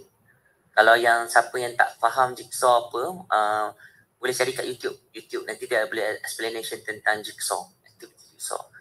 Activity jigsaw ni menarik. Cuma kita kena pandai handle lah. Kita kena pandai uh, bagi instruction kat student. And then lepas tu kita kena pandai organize lah that kind of activity. Okay. So when we talk about that, sebenarnya bila kita sebut um, student centered learning ni this is where actually we need to try to implement this in our class lah sama ada dari segi active learning up to the level of problem based learning project based team based learning and so on. This is actually the approach yang sebenarnya dapat membantu untuk meningkatkan uh, higher order thinking skills of students okay? Kemahiran berfikir aras tinggi pelajar. Sebab whenever that they are actually learning they can learn together with their peers they can learn together with the team and not only just listening to our lecture. So one of the approach is what we call as active learning. So macam active learning ni ialah di mana kita kita boleh bagi lecture tapi in between of the lecture tu dia ada some kind of activities lah yang kita fit in. Okay, kita try to fit in some kind of activities. Uh, it's a very short activities and then lepas tu kita ada what we call as advanced organizing as well as closure lah. Okay. So advanced organizing as well as closure. Even this advanced organizing and closure pun ialah some kind of activity. Uh, yang ni kalau siapa yang nak attend training bolehlah nanti uh, some other time insyaAllah. And therefore, kenapa kita buat macam intermittent discussion uh, in between activity yang tengah-tengah ni contohnya ialah kerana kita nak encourage for what we call as uh, kita nak minta student tu ada retention time yang lebih tinggi dengan kita. Kalau kita bagi lecture all the time, uh, dia akan menyebabkan student tu dia punya lama-lama dia punya fokus dia akan menurun. Okay. So by doing uh, by giving active exercise or break the students attention will become better lah. Uh, this is where actually activity yang kita boleh buat ialah first thing first kita minta dia individually construct lepas tu dia buat breakout session ataupun dia ada buat pairs in pairs and after that they they will do overall class interaction with the instructor. Okay. So antara question-question kita boleh tanya kepada student sebenarnya untuk dia participate uh, even actually inside the class ataupun online class contohnya towards the end of the spec of the class kita boleh tanya dia I will need to revise more on this topic or sections. Ataupun kita boleh bagi dia activity di mana dia boleh think first individually. Kita bagi satu exercise. Kita nak minta dia restate balik problem tu contohnya. So kita minta dia fikirkan dulu secara individual. Dan lepas tu dia join breakout ataupun dia join pair dia dalam dalam kelas pair it up. Then lepas tu dia boleh summarize balik apa problem tu sebenarnya. And then kita boleh tanya apa problem tu dan dia boleh bagi feedback sebab sometimes student ni sebenarnya dia tak faham problem kan uh, ataupun contoh soalan yang kita boleh tanya ialah kita bagi lecture all this while kita tanya dia balik okay from this slide to this slide apa what is your confusion what are your confusion kita minta dia kongsikan so that is also another technique yang kita boleh facilitate students untuk develop uh, kebat in themselves. But dia akan, dia kena fikir, dia akan proses berfikir. Okay? So that's why proses berfikir ni tak senang. Macam saya tanya tadi soalan pun sebenarnya everybody is thinking first, right? Before you want to respond to me, you are doing some kind of thinking. And that is why actually kita nak bantu pelajar kita supaya uh, instead of macam dia just, orang kata apa, just macam terus luahkan, hafal luahkan, hafal luahkan, is actually right now, you need to spend some time to think. Okay? ada aktiviti ni is also some kind of example that I can share with you. Um, contohnya kita bagi aktiviti mereka tengok slide balik, lepas tu daripada slide, uh, jot balik things yang rasa confused, lepas tu discuss dengan team member and then lepas tu discuss uh, with everyone. Ataupun kita boleh bagi satu soalan. Okay, this is a question to you, exercise. Saya nak kamu replicate balik soalan. Okay, replicate balik soalan ni guna different kind of um, parameters dan sebagainya and do recalculate balik. Uh, lepas tu compare dengan jawapan yang asal apa perbezaan dia contohnya. Uh, that is what actually you start to bring the students towards what we call as the HOTS level tadi. Bukan semata-mata selesaikan soalan tapi kita kata replicate soalan ni balik. Okay, replicate another question. Ataupun bila kita replicate, kita kata okay now when you replicate uh, instead of you answering it, you pass to your friend and exchange so that everybody can try to attempt each other's punya question for example. So that is some kind of techniques yang kita boleh guna untuk membantu pelajar-pelajar kita ni reach a higher level of uh, thinking tadi. Another another thing yang kita boleh approach yang kita guna tadi approach saya adalah approach active learning. Uh, another approach yang kita boleh guna ialah we call it team based learning. Team based learning ni di mana one of the approach kita boleh pakai cooperative learning. Okay. Yang uh, cumanya cooperative learning ni dia ada certain principles that we need to adhere antaranya positive interdependence, promotive interaction, individual accountability, teamwork skills and so on. So this is a very essential elements yang kita kena uh, wujudkan semasa kita nak create uh, some kind of task for the student. Uh, yang ini saya tak tak tak explain kat sini lah tapi maksudnya bila kita menggunakan kaedah cooperative learning ni dalam uh, among the students then they'll be able to have a peer to peer punya learning process and this is this would also help and support them not only to build the teamwork but also to build the critical thinking among themselves And among which selalunya bila kita bagi projek pada student, kita bagi some kind of team-based activities, of course kita selalu buat peer rating practices, okay? Peer rating practices ni uh, kita kena conduct several times sebenarnya. Selalunya masalah yang berlaku ialah bila kita conduct, uh, bila kita conduct uh, peer rating ni, kita selalu bagi towards the end saja. Bila bagi projek, bila, bila student dah submit projek, baru kita minta student buat peer rating dan selalunya kita akan dapat uh, markah yang sama je. Dia orang respon the same bagi markah yang lebih kurang sama je kat kawan-kawan. Kesian kat kawan-kawan takut nanti tak, tak dapat markah contohnya. So this is what happen when uh, kita kita tak regulate uh, most uh, or, apa throughout the whole time. Kita cuma bagi towards the end saja peer rating ni. So what we can also do is actually when we conduct the peer rating practices, we try to slot in in between Contohnya tengah-tengah semester pun kita boleh minta student kita buat peer rating. Ataupun tengah-tengah buat projek tu, tengah-tengah berkonflik sesama mereka tu, itulah time, the good time to give peer rating practices. Nak tengok betul-betul pelajar mana yang betul-betul outstanding, tarik student, kawan-kawan dia yang lain untuk to do work together. Ataupun kawan yang mana yang sebenarnya tengah free ride others. Contohnya. Okay. Free, sebab kawan-kawan kita, uh, student ni dia tahulah dia kawan, dia nak jaga hati kawan. Jadi towards the end dia tak naklah pergi sharing markah uh, bagi bagi rating yang rendah. Dan cara nak bagi rating tu instead of bagi nombor, seperti contohnya kita nak bagi suruh student bagi nombor 10, 9, 8, 7 dan sebagainya, kita bagi rubrik pada mereka. So when we give rubric to them, okay, uh, for example, if let's say kita bagi uh, rubrik seperti macam ni, excellent, consistently went above and beyond, tutored group mate, carried more than his or her fair share of the load, led discussion, drew in quiet members, provide reference and explanation, insightful, highly positive, motivated and so on. Uh, ini ialah level excellent. Jadi antara dalam grup tu yang mana sebenarnya mereka ni fulfill the level of excellent.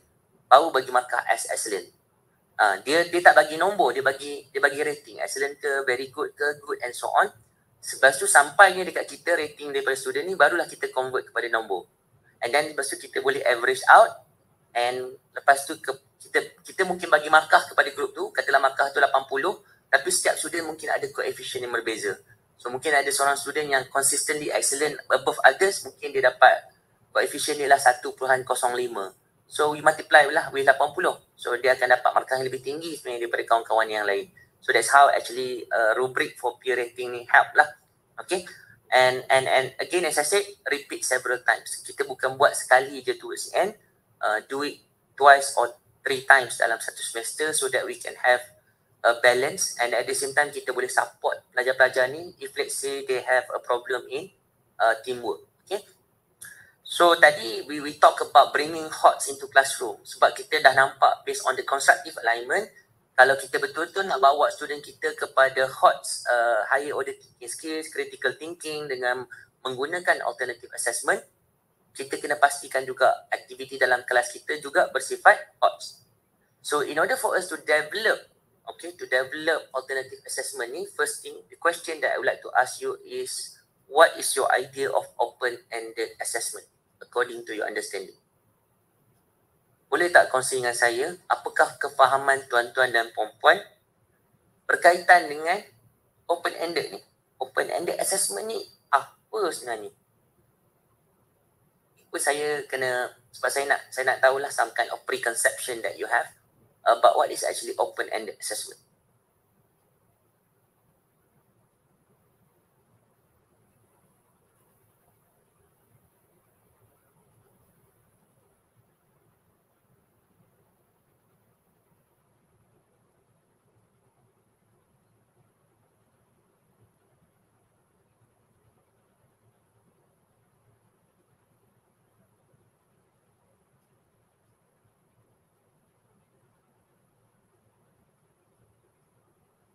Boleh tolong jawab? Sunyi je grup ni. Saya ada partisipan ramai sangat ni. Yang lain-lain mendengar sahaja ke? Ataupun tengah sibuk dengan buat benda lain ni? Provide problem-based solving assessment. No wrong answer. Okay, a way to allow student to critically evaluate the knowledge they have learned and application of this knowledge. There are no right or wrong answer. Okay.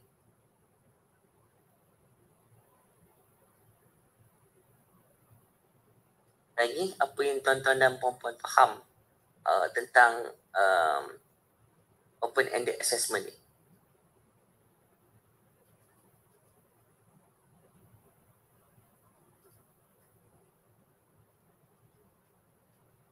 Appreciate or respond require proper justification.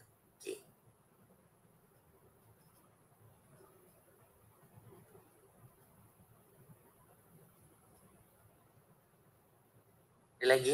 Kita baru ada empat respon. Empat orang je yang menjawab dengan saya ni. Mana yang lain-lain ni? Evaluate various aspect of components. Okay. Evaluate various aspect of components.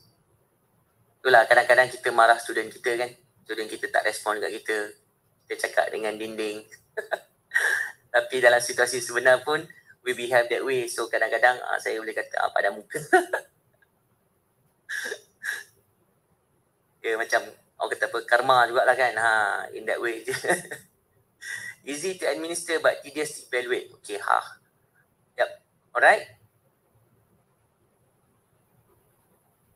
Give a space in which to construct your own response. Okay.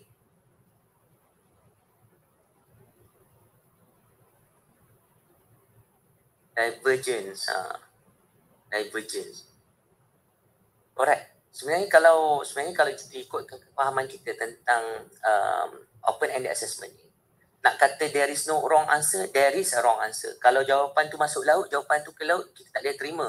Memang jawapan tu adalah jawapan yang ke laut especially kalau student tu tak prepare tapi this is when we do the open ended assessment dia kadang-kadang dia akan ada jawapan yang ada ada kepelbagaian jawapan yes. Maksudnya dari segi uh, jawapan yang kita yang student ada tu ada kepelbagaian and that's why kita kena provide the rubric so that they be able to answer it.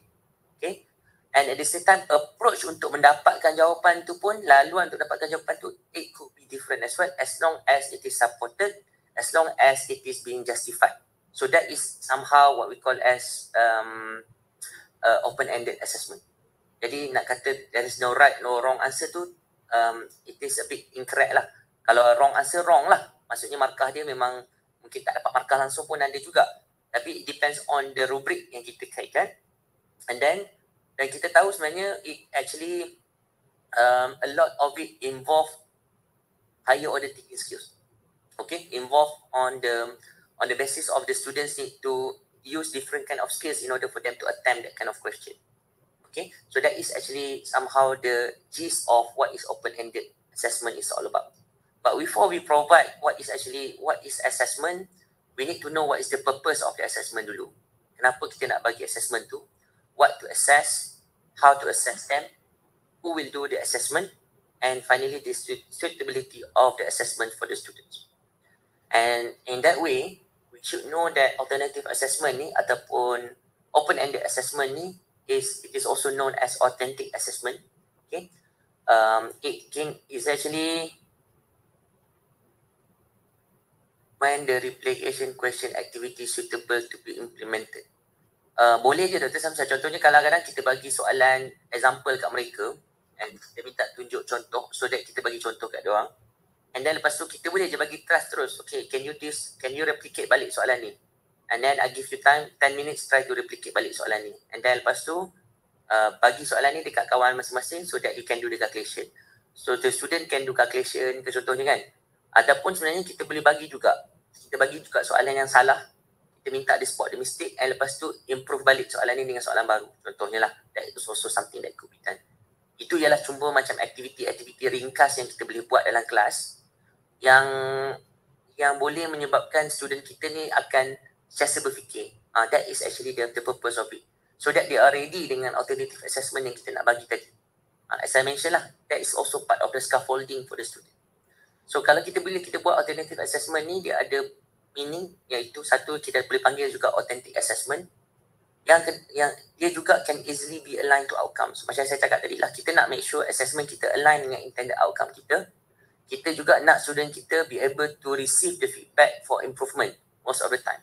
So sama ada semasa dia buat assignment ataupun semasa dia, bila dia submit assignment, dia dapat learn something new. That is also something good. Dia dapat feedback whether what they are learning is correct or not. And then this is beyond the traditional Uh, betul? Tentang isu.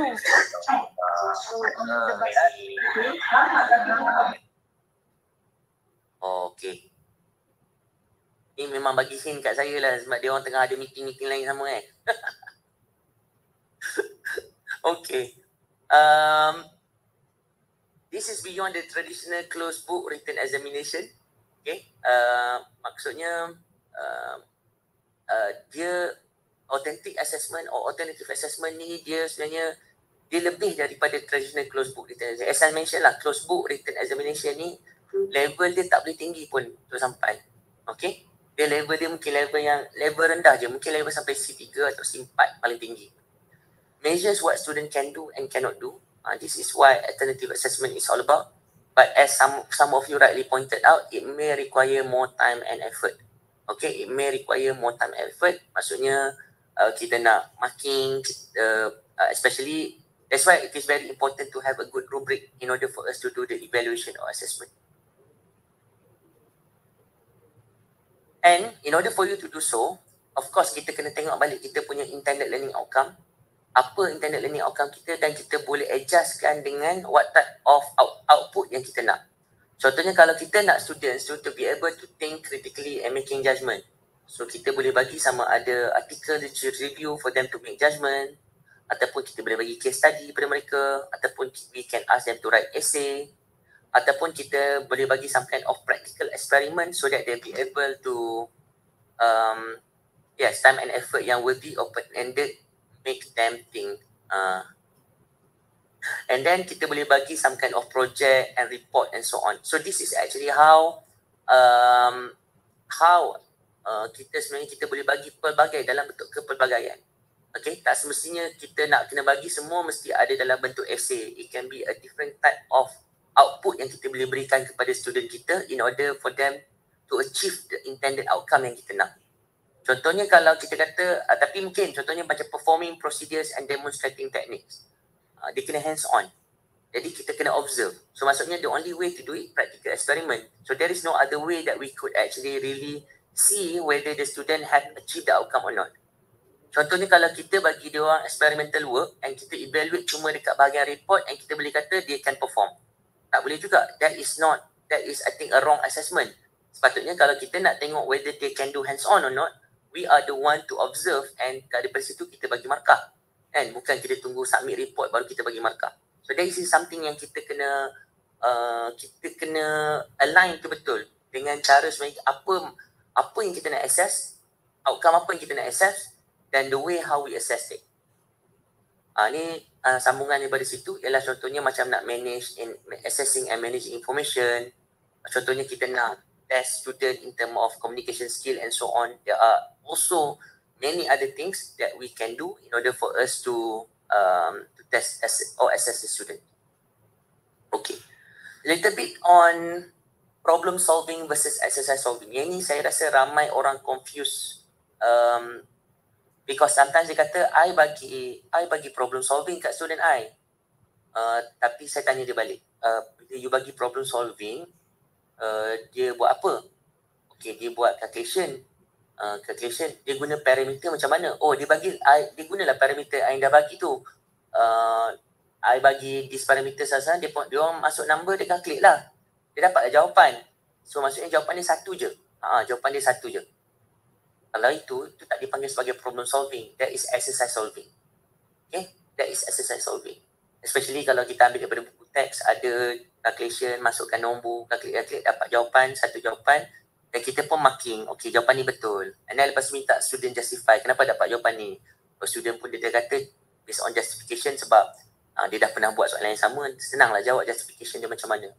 that is what we call as exercise solving. And exercise solving ni selalu orang confuse, orang ingat dia problem solving sebab nampak macam problem. Nampak problemnya, uh, tapi that is not problem solving. So what is the difference between exercise solving and problem solving? First thing first, okay, exercise solving ni dia involve a process to obtain the one and only right answer. Maksudnya ada sejawapan dia. Tapi bila problem solving, dia ada beberapa jawapan. Dia kata, is this a process? It involve a process to obtain a best answer to an unknown subject to some constraint. Maksudnya dia ada some kind of constraint and then uh, they need to make some kind of answer. Macam tadi lah, saya sebut pasal al- alasan nak beli phone. Dia tahu pun maksudnya dia nak cari the best answer, the best one based on dia punya justification, based on dia punya analysis and so on and to come up with the best answer. That's the idea of problem solving.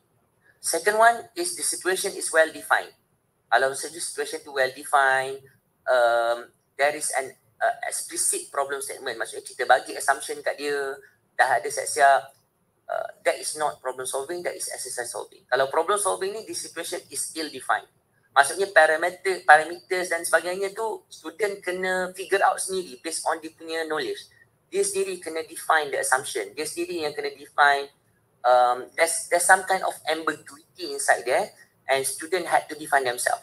Okay? Uh, and then student yang kena buat uh, the assumption. At the same time, student, kalau kita kata benda, benda ni student dah, dah jumpa dalam buku textbook ataupun dalam kelas ataupun dalam homework, this is exercise solving.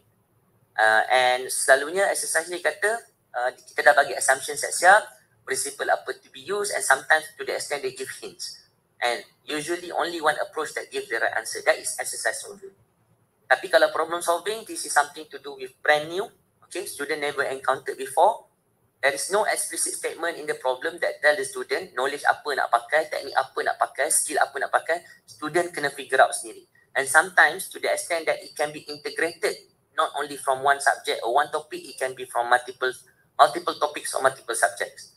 And here there may be one more than one valid approach that we can actually uh, share apa uh, student ni boleh dapat.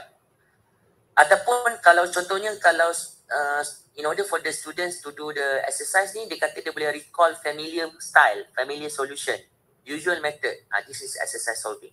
Ataupun it involve only one subject and communication skills are not essential. Uh, so this is exercise solving.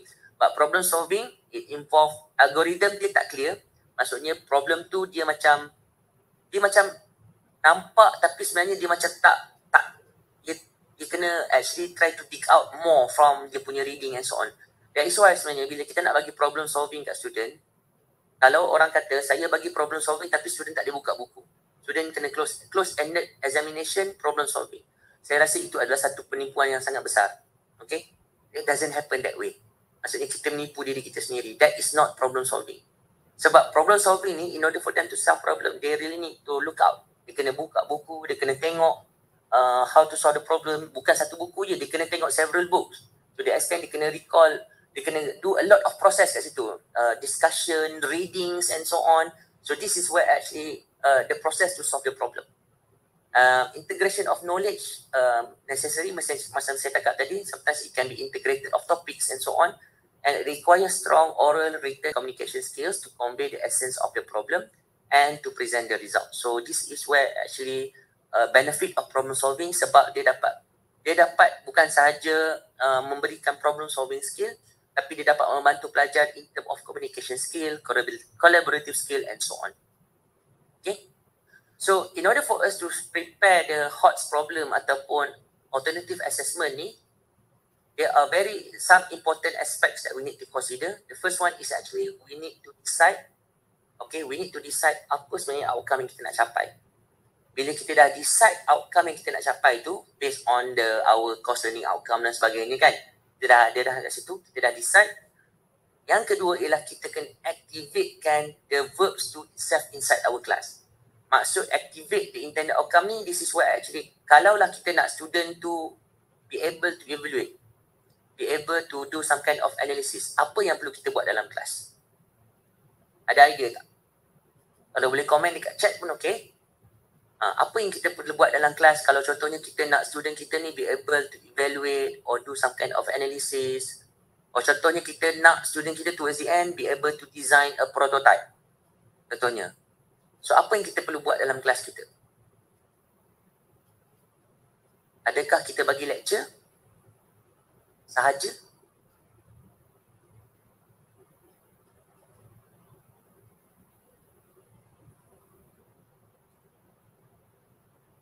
Apa yang perlu kita buat? Kalau kita nak bagi student kita tu contohnya ability to apply something, ability to justify on it. That is something yang kita nak test in the assessment. So apa yang kita perlu buat dalam dalam kelas kita? Okay. So kita kena activate lah maksudnya this is this is where actually discussion comes in. This is where engagement comes in. This is where facilitation comes in. Okay. Uh, bincang isu semasa berdasarkan topik. This is where the student need to make relationship with something that they have learned before. So those are the yes bagi a sample of prototype sedia ada discuss ataupun bagi dia orang some kind of scaffolding uh, kena adakan active learning dalam kelas. Yes. So perkara-perkara tersebutlah sebenarnya yang kita buat um, dalam kelas kita. Bila kita dah decide, okay apa benda yang kita nak assess student kita. And then along the way, semasa kita gunakan aktiviti-aktiviti yang kita activatekan student kita dalam kelas tu, kita boleh provide formative assessment as part of the scaffolding. Uh, maksudnya kat sini lah kita kena start bagi open book quizzes, open book test, team based punya quizzes, team based test yang open ended ada discussion among them to solve the problem. Um, so this is why actually kita do it as part of the scaffolding. Okay? And and barulah lepas tu kita prepare for the final exam untuk open ended and this is where actually we prepare the rubric. Okay? Tapi mungkin setengah orang akan kata uh, saya masalah sikit lah. Uh, universiti saya masih lagi nak buat close ended close ended examination Uh, jadi saya nak tak nak saya kena prepare close ended punya paper lah, written paper. Okay fine. Saya kata pada dia tak ada masalah. Don't worry about that. Tapi just whatever that you can control, make it an open ended punya aspect. Sebab by the time katalah contohnya towards the end to close ended, tak apa. Student tu pejam mata, kacang dia boleh jawab. That's what happened to my student lah. Saya sebenarnya bila pernah mengajar student, um, diminta lagi masih lagi close ended kat ujung, examination ujung, tapi tengah-tengah tu kita yang control, in control. I make it everything open ended. So memang student dia akan kata, alamak suffer lah, soalan susah lah, tough and so on. Tapi when it comes to final exam, dia boleh jawab, senang dia boleh jawab. Skor-skor dia orang. Sebab dia dah melalui kesusahan tu eh. Uh, inna ma'ala usri yusra. Di dalam kesusahan ada kesenangan tu the So itu yang student-student saya lalui. Jadi, jadi um, uh, don't worry about that. Okay, don't worry about that. Jadi kita kena uh, just to make sure that the students um, kalau student kena jawab exam close ended towards the end tak apa it's okay. Just make sure they are activated with all this kind of alternative assessment kat tengah-tengah. Jangan pula kita macam uh, kita pun bagilah kat dia orang bagi quiz sikit quiz MCQ bagi markah. Uh, padahal sebenarnya quiz-quiz yang berbentuk macam tu yang guna Kahoot guna Mentimeter semua tu contohnya itu sebagai formative assessment saja tak perlu pun bagi markah pada student. Yang penting yang ada markah ni ialah something yang ada impactful pada dia ada impact on the learning tu Uh, contohnya kalau kena buat assignment, kena buat sesuatu yang ambil masa sikit, uh, that deserve some kind of marks. Tapi kalau setakat benda-benda aktiviti dalam kelas kecil-kecil tu, jangan kita, kita kata apa, sikit-sikit boleh lah tapi jangan ajar sangat student kita dengan collect markah dengan benda-benda kecil. Uh, macam itulah. So that is something yang kita kena uh, be, be, be careful of lah. Okay. Um, saya nak skip bahagian ni sekejap uh, sebab saya dah explain tadi uh, at scaffolding and so on. Um, Alright. Ini just some of the samples lah, some of the sample of the uh, quiz. Contohnya ini adalah satu team based open open ended quiz yang saya bagi pada student. Saya ajar student subject material energy balance dan saya expectation pada student saya nak student ni uh, dapat relate situation ni with material related problem. Saya tapi saya tak mention pun spesifik kat sini isu kenaan dengan bypass ke, recycle ke, mass balance in reactive system ke, saya tak bincang. Tapi student bila dia figure out benda ni, dia kena cuba kaitkan dengan knowledge in the past. Okay, dia nak kena apply that knowledge. Ability to give sound assumption and justify them. Uh, assumption pun saya tak bagi kat sini, dia orang sini kena come out dengan assumption. And show example with suitable aid or flow diagram how the problem can be mitigated. Perform some example of calculation using some assume basis. Maksudnya saya nak kat sini, please share some calculation whenever that they want to use that kind of knowledge. So soalan dia memang tak, never come across before. selalu duk belajar pasal chemical plant, suddenly saya tanya soalan pasal volcano. So dia kata a volcano of the diameter of a football field was observed to become active and estimated to erupt for at least in a month and will be affecting a nearby village. As the engineers and chemists who are expert in material balance, you and your team members are planning to solve this issue without having to move villages. Kita bagi some kind of constraint. So share your thoughts in solving this. Please share some calculation. So kat sini kita boleh nampak kalau student tu surface learner, dia tak akan ada calculation apa-apa. Dia sebenarnya dia akan bagi general idea je point by point point by point. Ha, jadi adalah markah sikit je sebab dia tak ada sandaran kepada teori tak ada tak ada sandaran kepada fundamentals. Tapi kalau kita tahu so, seorang student tu dia ada deep learner dia seorang deep learner dia akan go to the detail. Dia akan kaitkan okay kita boleh guna teknik uh, recycle atau teknik bypass contohnya and then dia perform the calculation and show into the detail how we can do this jadi nampak tak perbezaan cara macam mana sebenarnya kita boleh bezakan antara surface surface learner dengan deep learner dengan kaedah memberikan open-ended assessment. Tapi kalau saya letak kat sini, parameter everything, dia buat calculation je, everybody can do that. Okay, everybody can do that. So that's why kita tak boleh nak differentiate.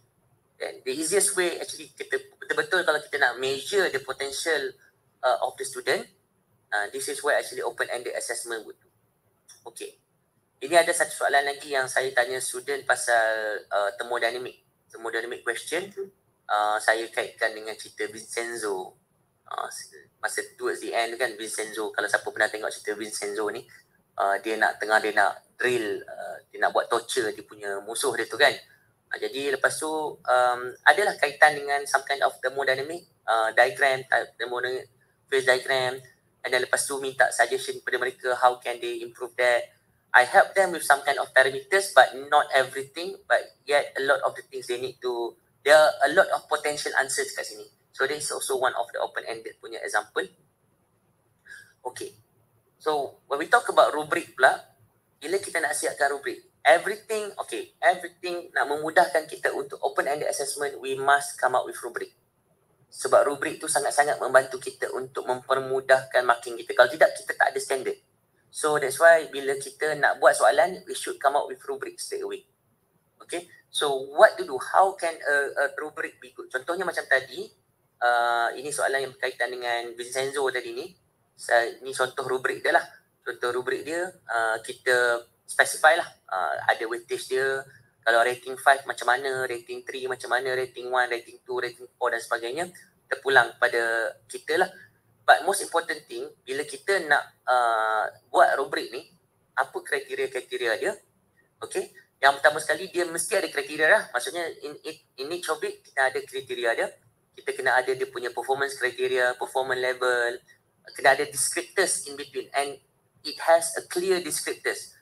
Daripada daripada satu kolom ke satu kolom yang lain itu descriptors dia can be can be memang kita boleh uh, differentiate betul-betul.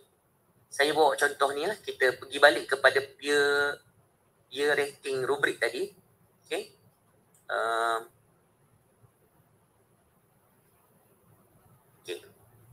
So kalau kita tengok peer rating rubrik tadi, contohnya kan kalau kita tengok dia punya kriteria, kalau contohnya antara student ordinary dengan marginal, sama ada kita nak bagi marginal atau ordinary pada student. Okay. Often did what he or she was supposed to do, sometimes participates in discussion, somewhat positive. Akan tetapi kalau student tu sometimes fail to show up, maksudnya most of the time dia fail to show up or complete assignment, rarely prepared, sometimes negative. So it, it has some kind of we call it gradation. Okay, sampai we call it gradation. Maksudnya ada student ni layak dapat ordinary markah saja, ada student lagi akan layak cuma dapat marginal saja. So that's how actually we use the rubric tu. Memang kena ada clear um, gradation kat situ, clear descriptors kita. Uh, jangan kalau vague descriptors kita, maksudnya um, rubric kita tu kena improve lagi lah. Okay. Uh, another important aspect dalam kita buat rubric ni, ialah kita call it sebagai uh, reliability. Okay. So whenever that we develop a rubric, bagusnya kita minta kawan kita vet through. Okay. Vet through to clear any kind of inconsistency. Okay. And then it should be reliable. And if let's say kita bagi, katalah kita buat uh, rubrik tu, seorang bagi markah 90, seorang bagi markah 70. Maksudnya there's something wrong with that rubric. Maksudnya it need to be dia need more clarity kat situ. Okay, it needs more clarity kat situ. And it also need to be validate. Okay, maksudnya validate, kena vet through, kena uh, kena easy to see by eye, kena dia punya term yang kita guna is is understandable. Okay, maksudnya if in case anything happen to us, kalaulah kita uh, tak, orang kata apa, kalaulah kita tak sempat nak marking pun, at least somebody else who help us to mark the assessment, uh, they have the same, they they understand the rubric is all about. Uh, itu yang penting dalam kita develop the group rubric itself. Right? Uh, and then finally, uh, when we do the assessment assessment semua untuk final, this is where actually we prepare the question as well as uh, the rubric for the student. Uh, ini antara contoh lah soalan uh, sample of open-ended test. Nanti saya akan saya boleh share link kepada slide ni. You can actually have a look at at the question, contoh question. Uh, saya ambil contoh kat sini je. Eh. Saya mungkin saya bagi parameter sikit je kat saya. Saya some kind of constraint lah. Kita panggil constraint eh saya kata yang ni ada 10,000 kg per year metanol lepas tu temperature dia 122 tapi other than that uh, dia kena specify sendiri macam contohnya at least two cooling fluid. Maksudnya cooling fluid ni macam-macam. Ada banyak-banyak jenis. Dia kena pilih sendiri lepas tu assumption dia sendiri calculation dia kena masukkan sendiri and contoh and, and slot in and so on. So this question is actually um, dia kena buat ini this is where actually it, it, uh, I, would say this question is level up to C5 Okay, C5 punya question. Uh, yang ini pula question dia mungkin sampai C3 saja. Walaupun it's open-ended tapi dia C3 saja. Sebab dia tak banyak sangat calculation involved. Dia cuma application of it lah sebenarnya. Description. Um, so this is the example of rubric based on this open-ended test. Um, so kalau tengok sebenarnya specification dia adalah um, suitable choice of cooling, assumption, perform of calculation. Jadi kita boleh uh, masukkan kita punya elemen what we call as elemen uh, verb yang kita nak measure tadi. Okay, elemen uh, kata kerja yang kita nak measure tadi. Okay, this is also another example of what we call as um, development of uh, izin. Ini izin ni ialah e-magazine. Uh, saya gunakan approach problem based learning. So problem based learning, this is where actually kita bagi problem pada student. Ada they have a problem here which is highlighted. And then after that, uh, student ni dia kena uh, adalah some kind of activity in between. Jadi kita bukan bagi campak je kat student, kau solve kan. Tapi kita some kind of activity so that we can follow through, so that we can facilitate, um, so that they also learn some kind of material. Lepas tu dia ada peer teaching, dia ada process of discussion and so on lah. So this is where actually um, problem-based learning uh, comes in lah uh, one of the approach uh, assessment, innovation assessment yang saya pernah buat ialah saya panggil sebagai flip assessment. So kalau siapa yang pernah dengar pasal flip classroom, ah uh, this is not flip classroom eh. This is flip assessment. Flip assessment ni apa maksud dia? Uh, saya buat uh, assessment, uh, saya bagi assignment ataupun sometimes I give it as a I call it as take home test where the students need to think like us. Student ni masuk dalam kasut lecturer which means that student develop exam question with complete solution. Okay, so kita bagi task, saya bagi task kepada student untuk student develop exam question uh, close-ended, eh, close-ended written examination exam question. And then lepas tu dia kena develop that question, uh, kita ajarlah dia. Antara benda scaffolding kita bagi ialah contohnya kita ajar belum taxonomy, kita bagi dia orang some guidance uh, untuk guna some kind of verb contohnya kita mungkin bagi contoh-contoh soalan yang lepas-lepas. So apa yang kita boleh buat ialah kita minta dia orang come out dengan question maybe using some kind of analogy or daily application. So kita bagi bonus kat situ. Contohnya and then lepas tu uh, kita buat rubrik untuk evaluate that question with complete solution. Contohnya kalau kita kita nak mereka solution calculate tu betul-betul detail. So kita bagi markah tinggi kat situ. Uh, kita nak soalan tu bersifat original. Uh, and then soalan tu ada level of hot dia contohnya. Uh, kita tak nak soalan yang definition define or explain something. Kita nak soalan yang mungkin yang lebih detail towards that. So this is kind of the technique that we can use to achieve, to make sure that the student achieve mastery. Sebabnya, kenapa saya kata achieve mastery? So, kalau kita recall balik, reflect diri kita, when we can't want to come up with some kind of this question, apa yang kita perlu buat? Kita kena go through the chapter kan? Kita kena go through the material dulu. Kalau chapter tu kita kena go through chapter, kita kena check dulu kat mana kita nak tanya. Lepas tu kita kena buat dulu, kita calculate the same process. So we want the same process uh, applied by the students. And this is where actually student akan achieve mastery. Dan percayalah, if let's say you are doing this as part of your assignment, nanti bila masuk soalan exam, katalah soalan lebih kurang sama ke soalan yang macam beza sikit pun, the student will be able to answer it.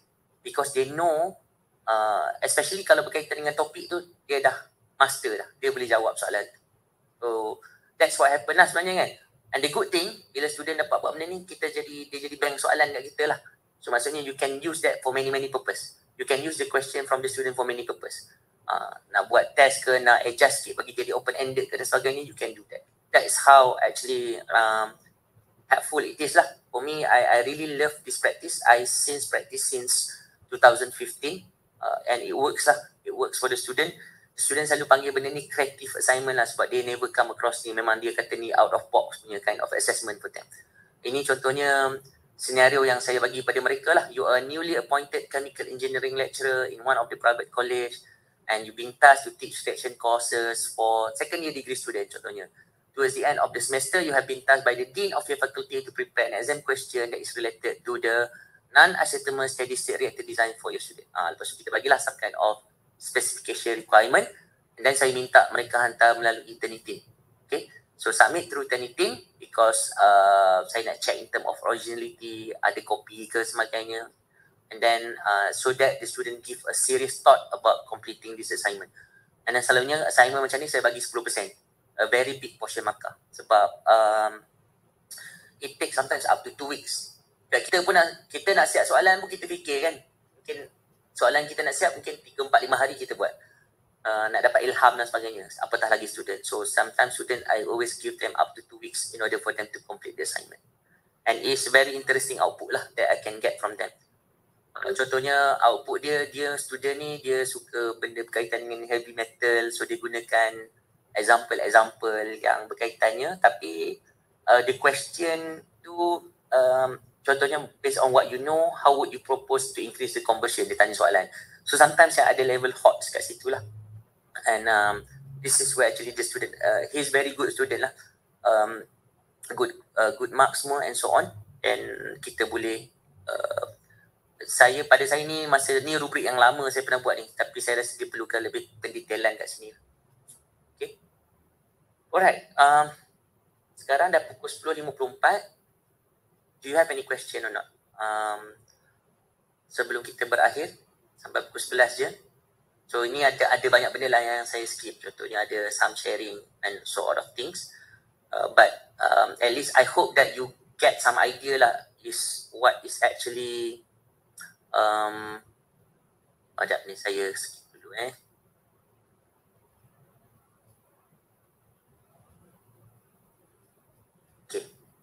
So saya nak minta tuan-tuan dan puan-puan kalau boleh dapat kongsikan uh, refleksi tuan-tuan dan puan-puan tentang uh, program yang hari ni. What what are actually that you learn? Apa benda yang tuan-tuan dan puan-puan belajar? Or you have if you have any question, please do not hesitate to ask question we still have time dah lebih kurang 5 minit lagi um, so that I could actually alright muting island verb does not indicate the level must use wholesome approach. Okay thank you. So benda ni perlu diperjuangkan sebab ramai sangat yang dapat misconception about this. Ha, itu je lah yang kita kena faham. And sometimes it doesn't make sense. Contohnya kita kita dah buat dah benda tu dalam kelas lepas tu kita ulang balik guna verb yang sama and kita claim student dah sampai level hot tu. Lepas tu kita complain, student tak faham-faham, student tak boleh nak apply knowledge. Sebab kita sendiri yang silap uh, buat assessment kepada student. What else that you learn? Apa benda lagi? Mungkin boleh share dekat um, dekat menti ataupun you can also share dekat uh, dekat chat section.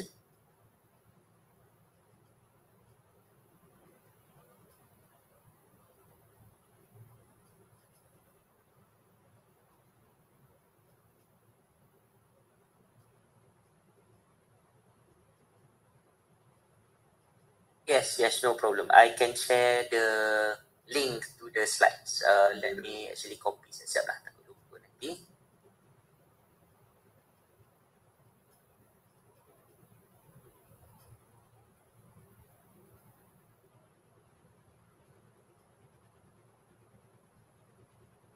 So semua boleh actually click that Canva link. Kat situ nanti boleh view the slide. Okay, you can view the slide.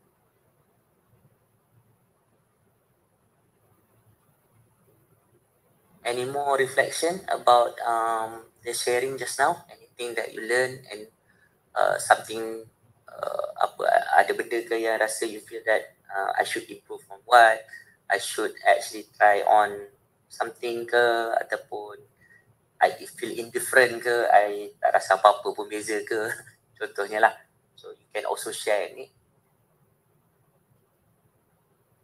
I hope uh, saya tak terlalu rushing tapi itulah kalau nak nak attend next time uh, selalunya course yang saya organize benda ni selalu dalam 4 hours. So kita ada some kind of breakout activities discussion semua lah ada detail lah.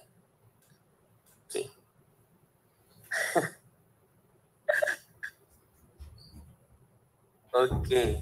Okay. Kalau macam uh, pada yang 4 hours tu you prefer uh, online ataupun prefer face to face? Actually saya sebenarnya saya suka juga saya, tapi saya tak pernah lagi buat workshop ni face to face. Um, tapi saya rasa face to face tu, tu lagi dia nak, lagi impactful lah sebab boleh tengok kan boleh uh, boleh ni Okay. um, online pun works lah cuma mungkin online orang tak tahan lah lama-lama 3 jam 4 jam dia Ha, dia punya dia attention fokus dia dia dah kan nah, nak, nak, ah. Tapi kalau if let's say you prefer face to face nak suruh saya pergi ke tapas saya pergi je insyaallah Awal insyaAllah. Okay. Ni kan, kan uh, sekarang ni kan uh, because uh, dah online, ada juga yang some of the assessment tu kita akan conduct uh, online. hmm hmm hmm So kalau macam kita nak give an open-ended assessment as online punya kan, as a online, jadi kita punya questions tu kena up to that C5 and C, uh, C, at least C5 and C6 lah kan? uh, come again dia punya maksudnya you you you have a question Ah, okay. Kalau open-ended tu, aha ada question je. Okay, kita, kita bagi dekat student open-ended macam open-ended assessment tu. mhm Okay, dia online. okay Eh, tapi uh, dia online. Lepas tu, kita punya questions tu kalau boleh dia C5 and C6 lah. yes kalau boleh uh, kalau boleh soalan kalau kita nak bagi open ended could actually could range daripada C3 sampai C6 sebenarnya. Oh, okay. range from that so macam you you can decide lah sebenarnya kan. Um, Hmm. you you can actually decide on what kind of um, uh, level that you want to achieve. Sebab kita bergantung balik. Kita bergantung balik pada kita punya course outcome tadi kan. Kita Ah, kita pergi balik pada course outcome kita, level mana yang kita dah specify dalam course outcome kita, kita nak student sampai level mana. So that's why we assess pun based on that level lah sebenarnya kan. Ah, yes, correct. Mm-hmm. Okay, um, alright, um, saya rasa dah pukul 11 dah. Um, uh, ah, ni Dr. Imran lah, ada kat sini punya, okay. Eh, I will go, I will go to ITM Tapas insyaAllah. So if let's say if you are interested to have macam active learning punya strategies ke, Ah, yes. listening ke, I can do that as well lah. Ha. Alang-alang nak pergi tu takkan pergi separuh hari kan? Uh, ada macam uh, assessment kenapa dah banyak uh, macam assessment dia dah tak banyak final part. Macam Uh, so ah, itu kan kita mungkin nak kena buat something like macam workshop result certain. Mhm. Kita, kita punya assessment kali ni dia dah dah more towards uh, apa 60-40 final experience. ya, yeah, betul. So dia punya assessment tu banyak. So adalah peluang untuk kita buat macam this kind of punya assessment kan. Right, correct. Dia, dia saya saya punya konsep in giving assessment to the student. I don't like to give a lot of assessment. I I don't like to give a lot of assignment to the student. Um, but most importantly, I would like to give some kind of impactful assignment to the student. Jadi Hmm. jadi sometimes mungkin ada certain chapter saya combine together so that they able to think thoroughly on it kan. Um, ad- ada some kind of assignment tu is a team based so that I I be able to develop the teamwork kat situ. So it depends on actually kita kita tak nak contoh macam ni lah.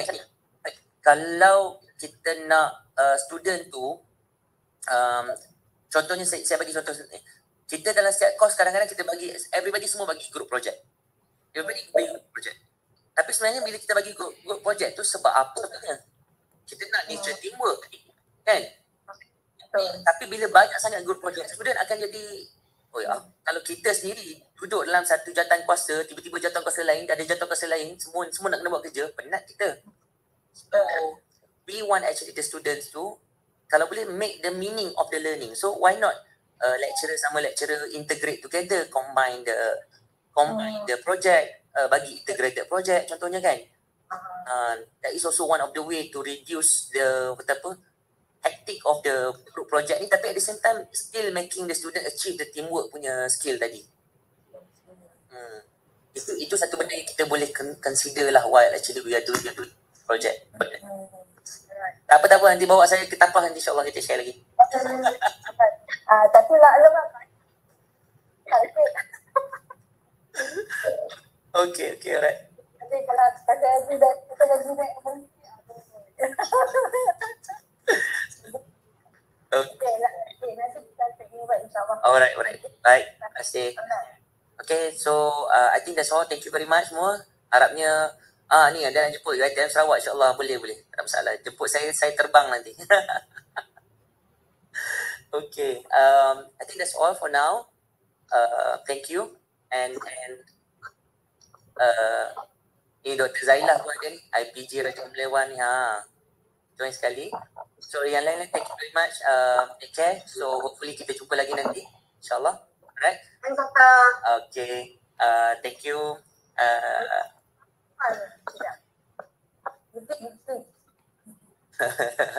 Thank you, Rata. right, thank you. Bye. Assalamualaikum. Waalaikumsalam.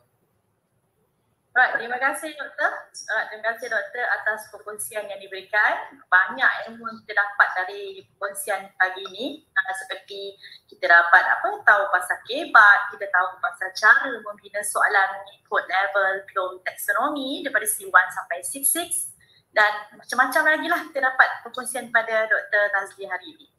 Diharap uh, perkongsian yang diberikan oleh doktor dapatlah diguna pakai dan membantu para peserta dalam uh, PNP.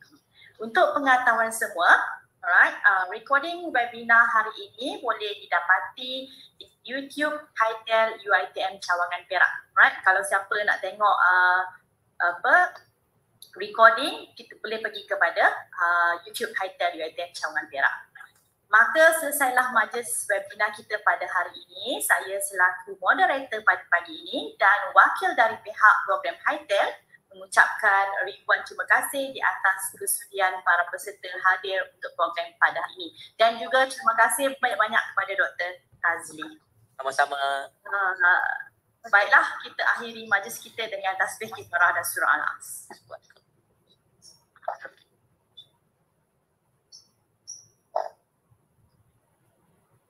Uh, mohon peserta semua uh, on camera boleh kita dapat bergambar bersama untuk program pagi ni. Ya, last camera.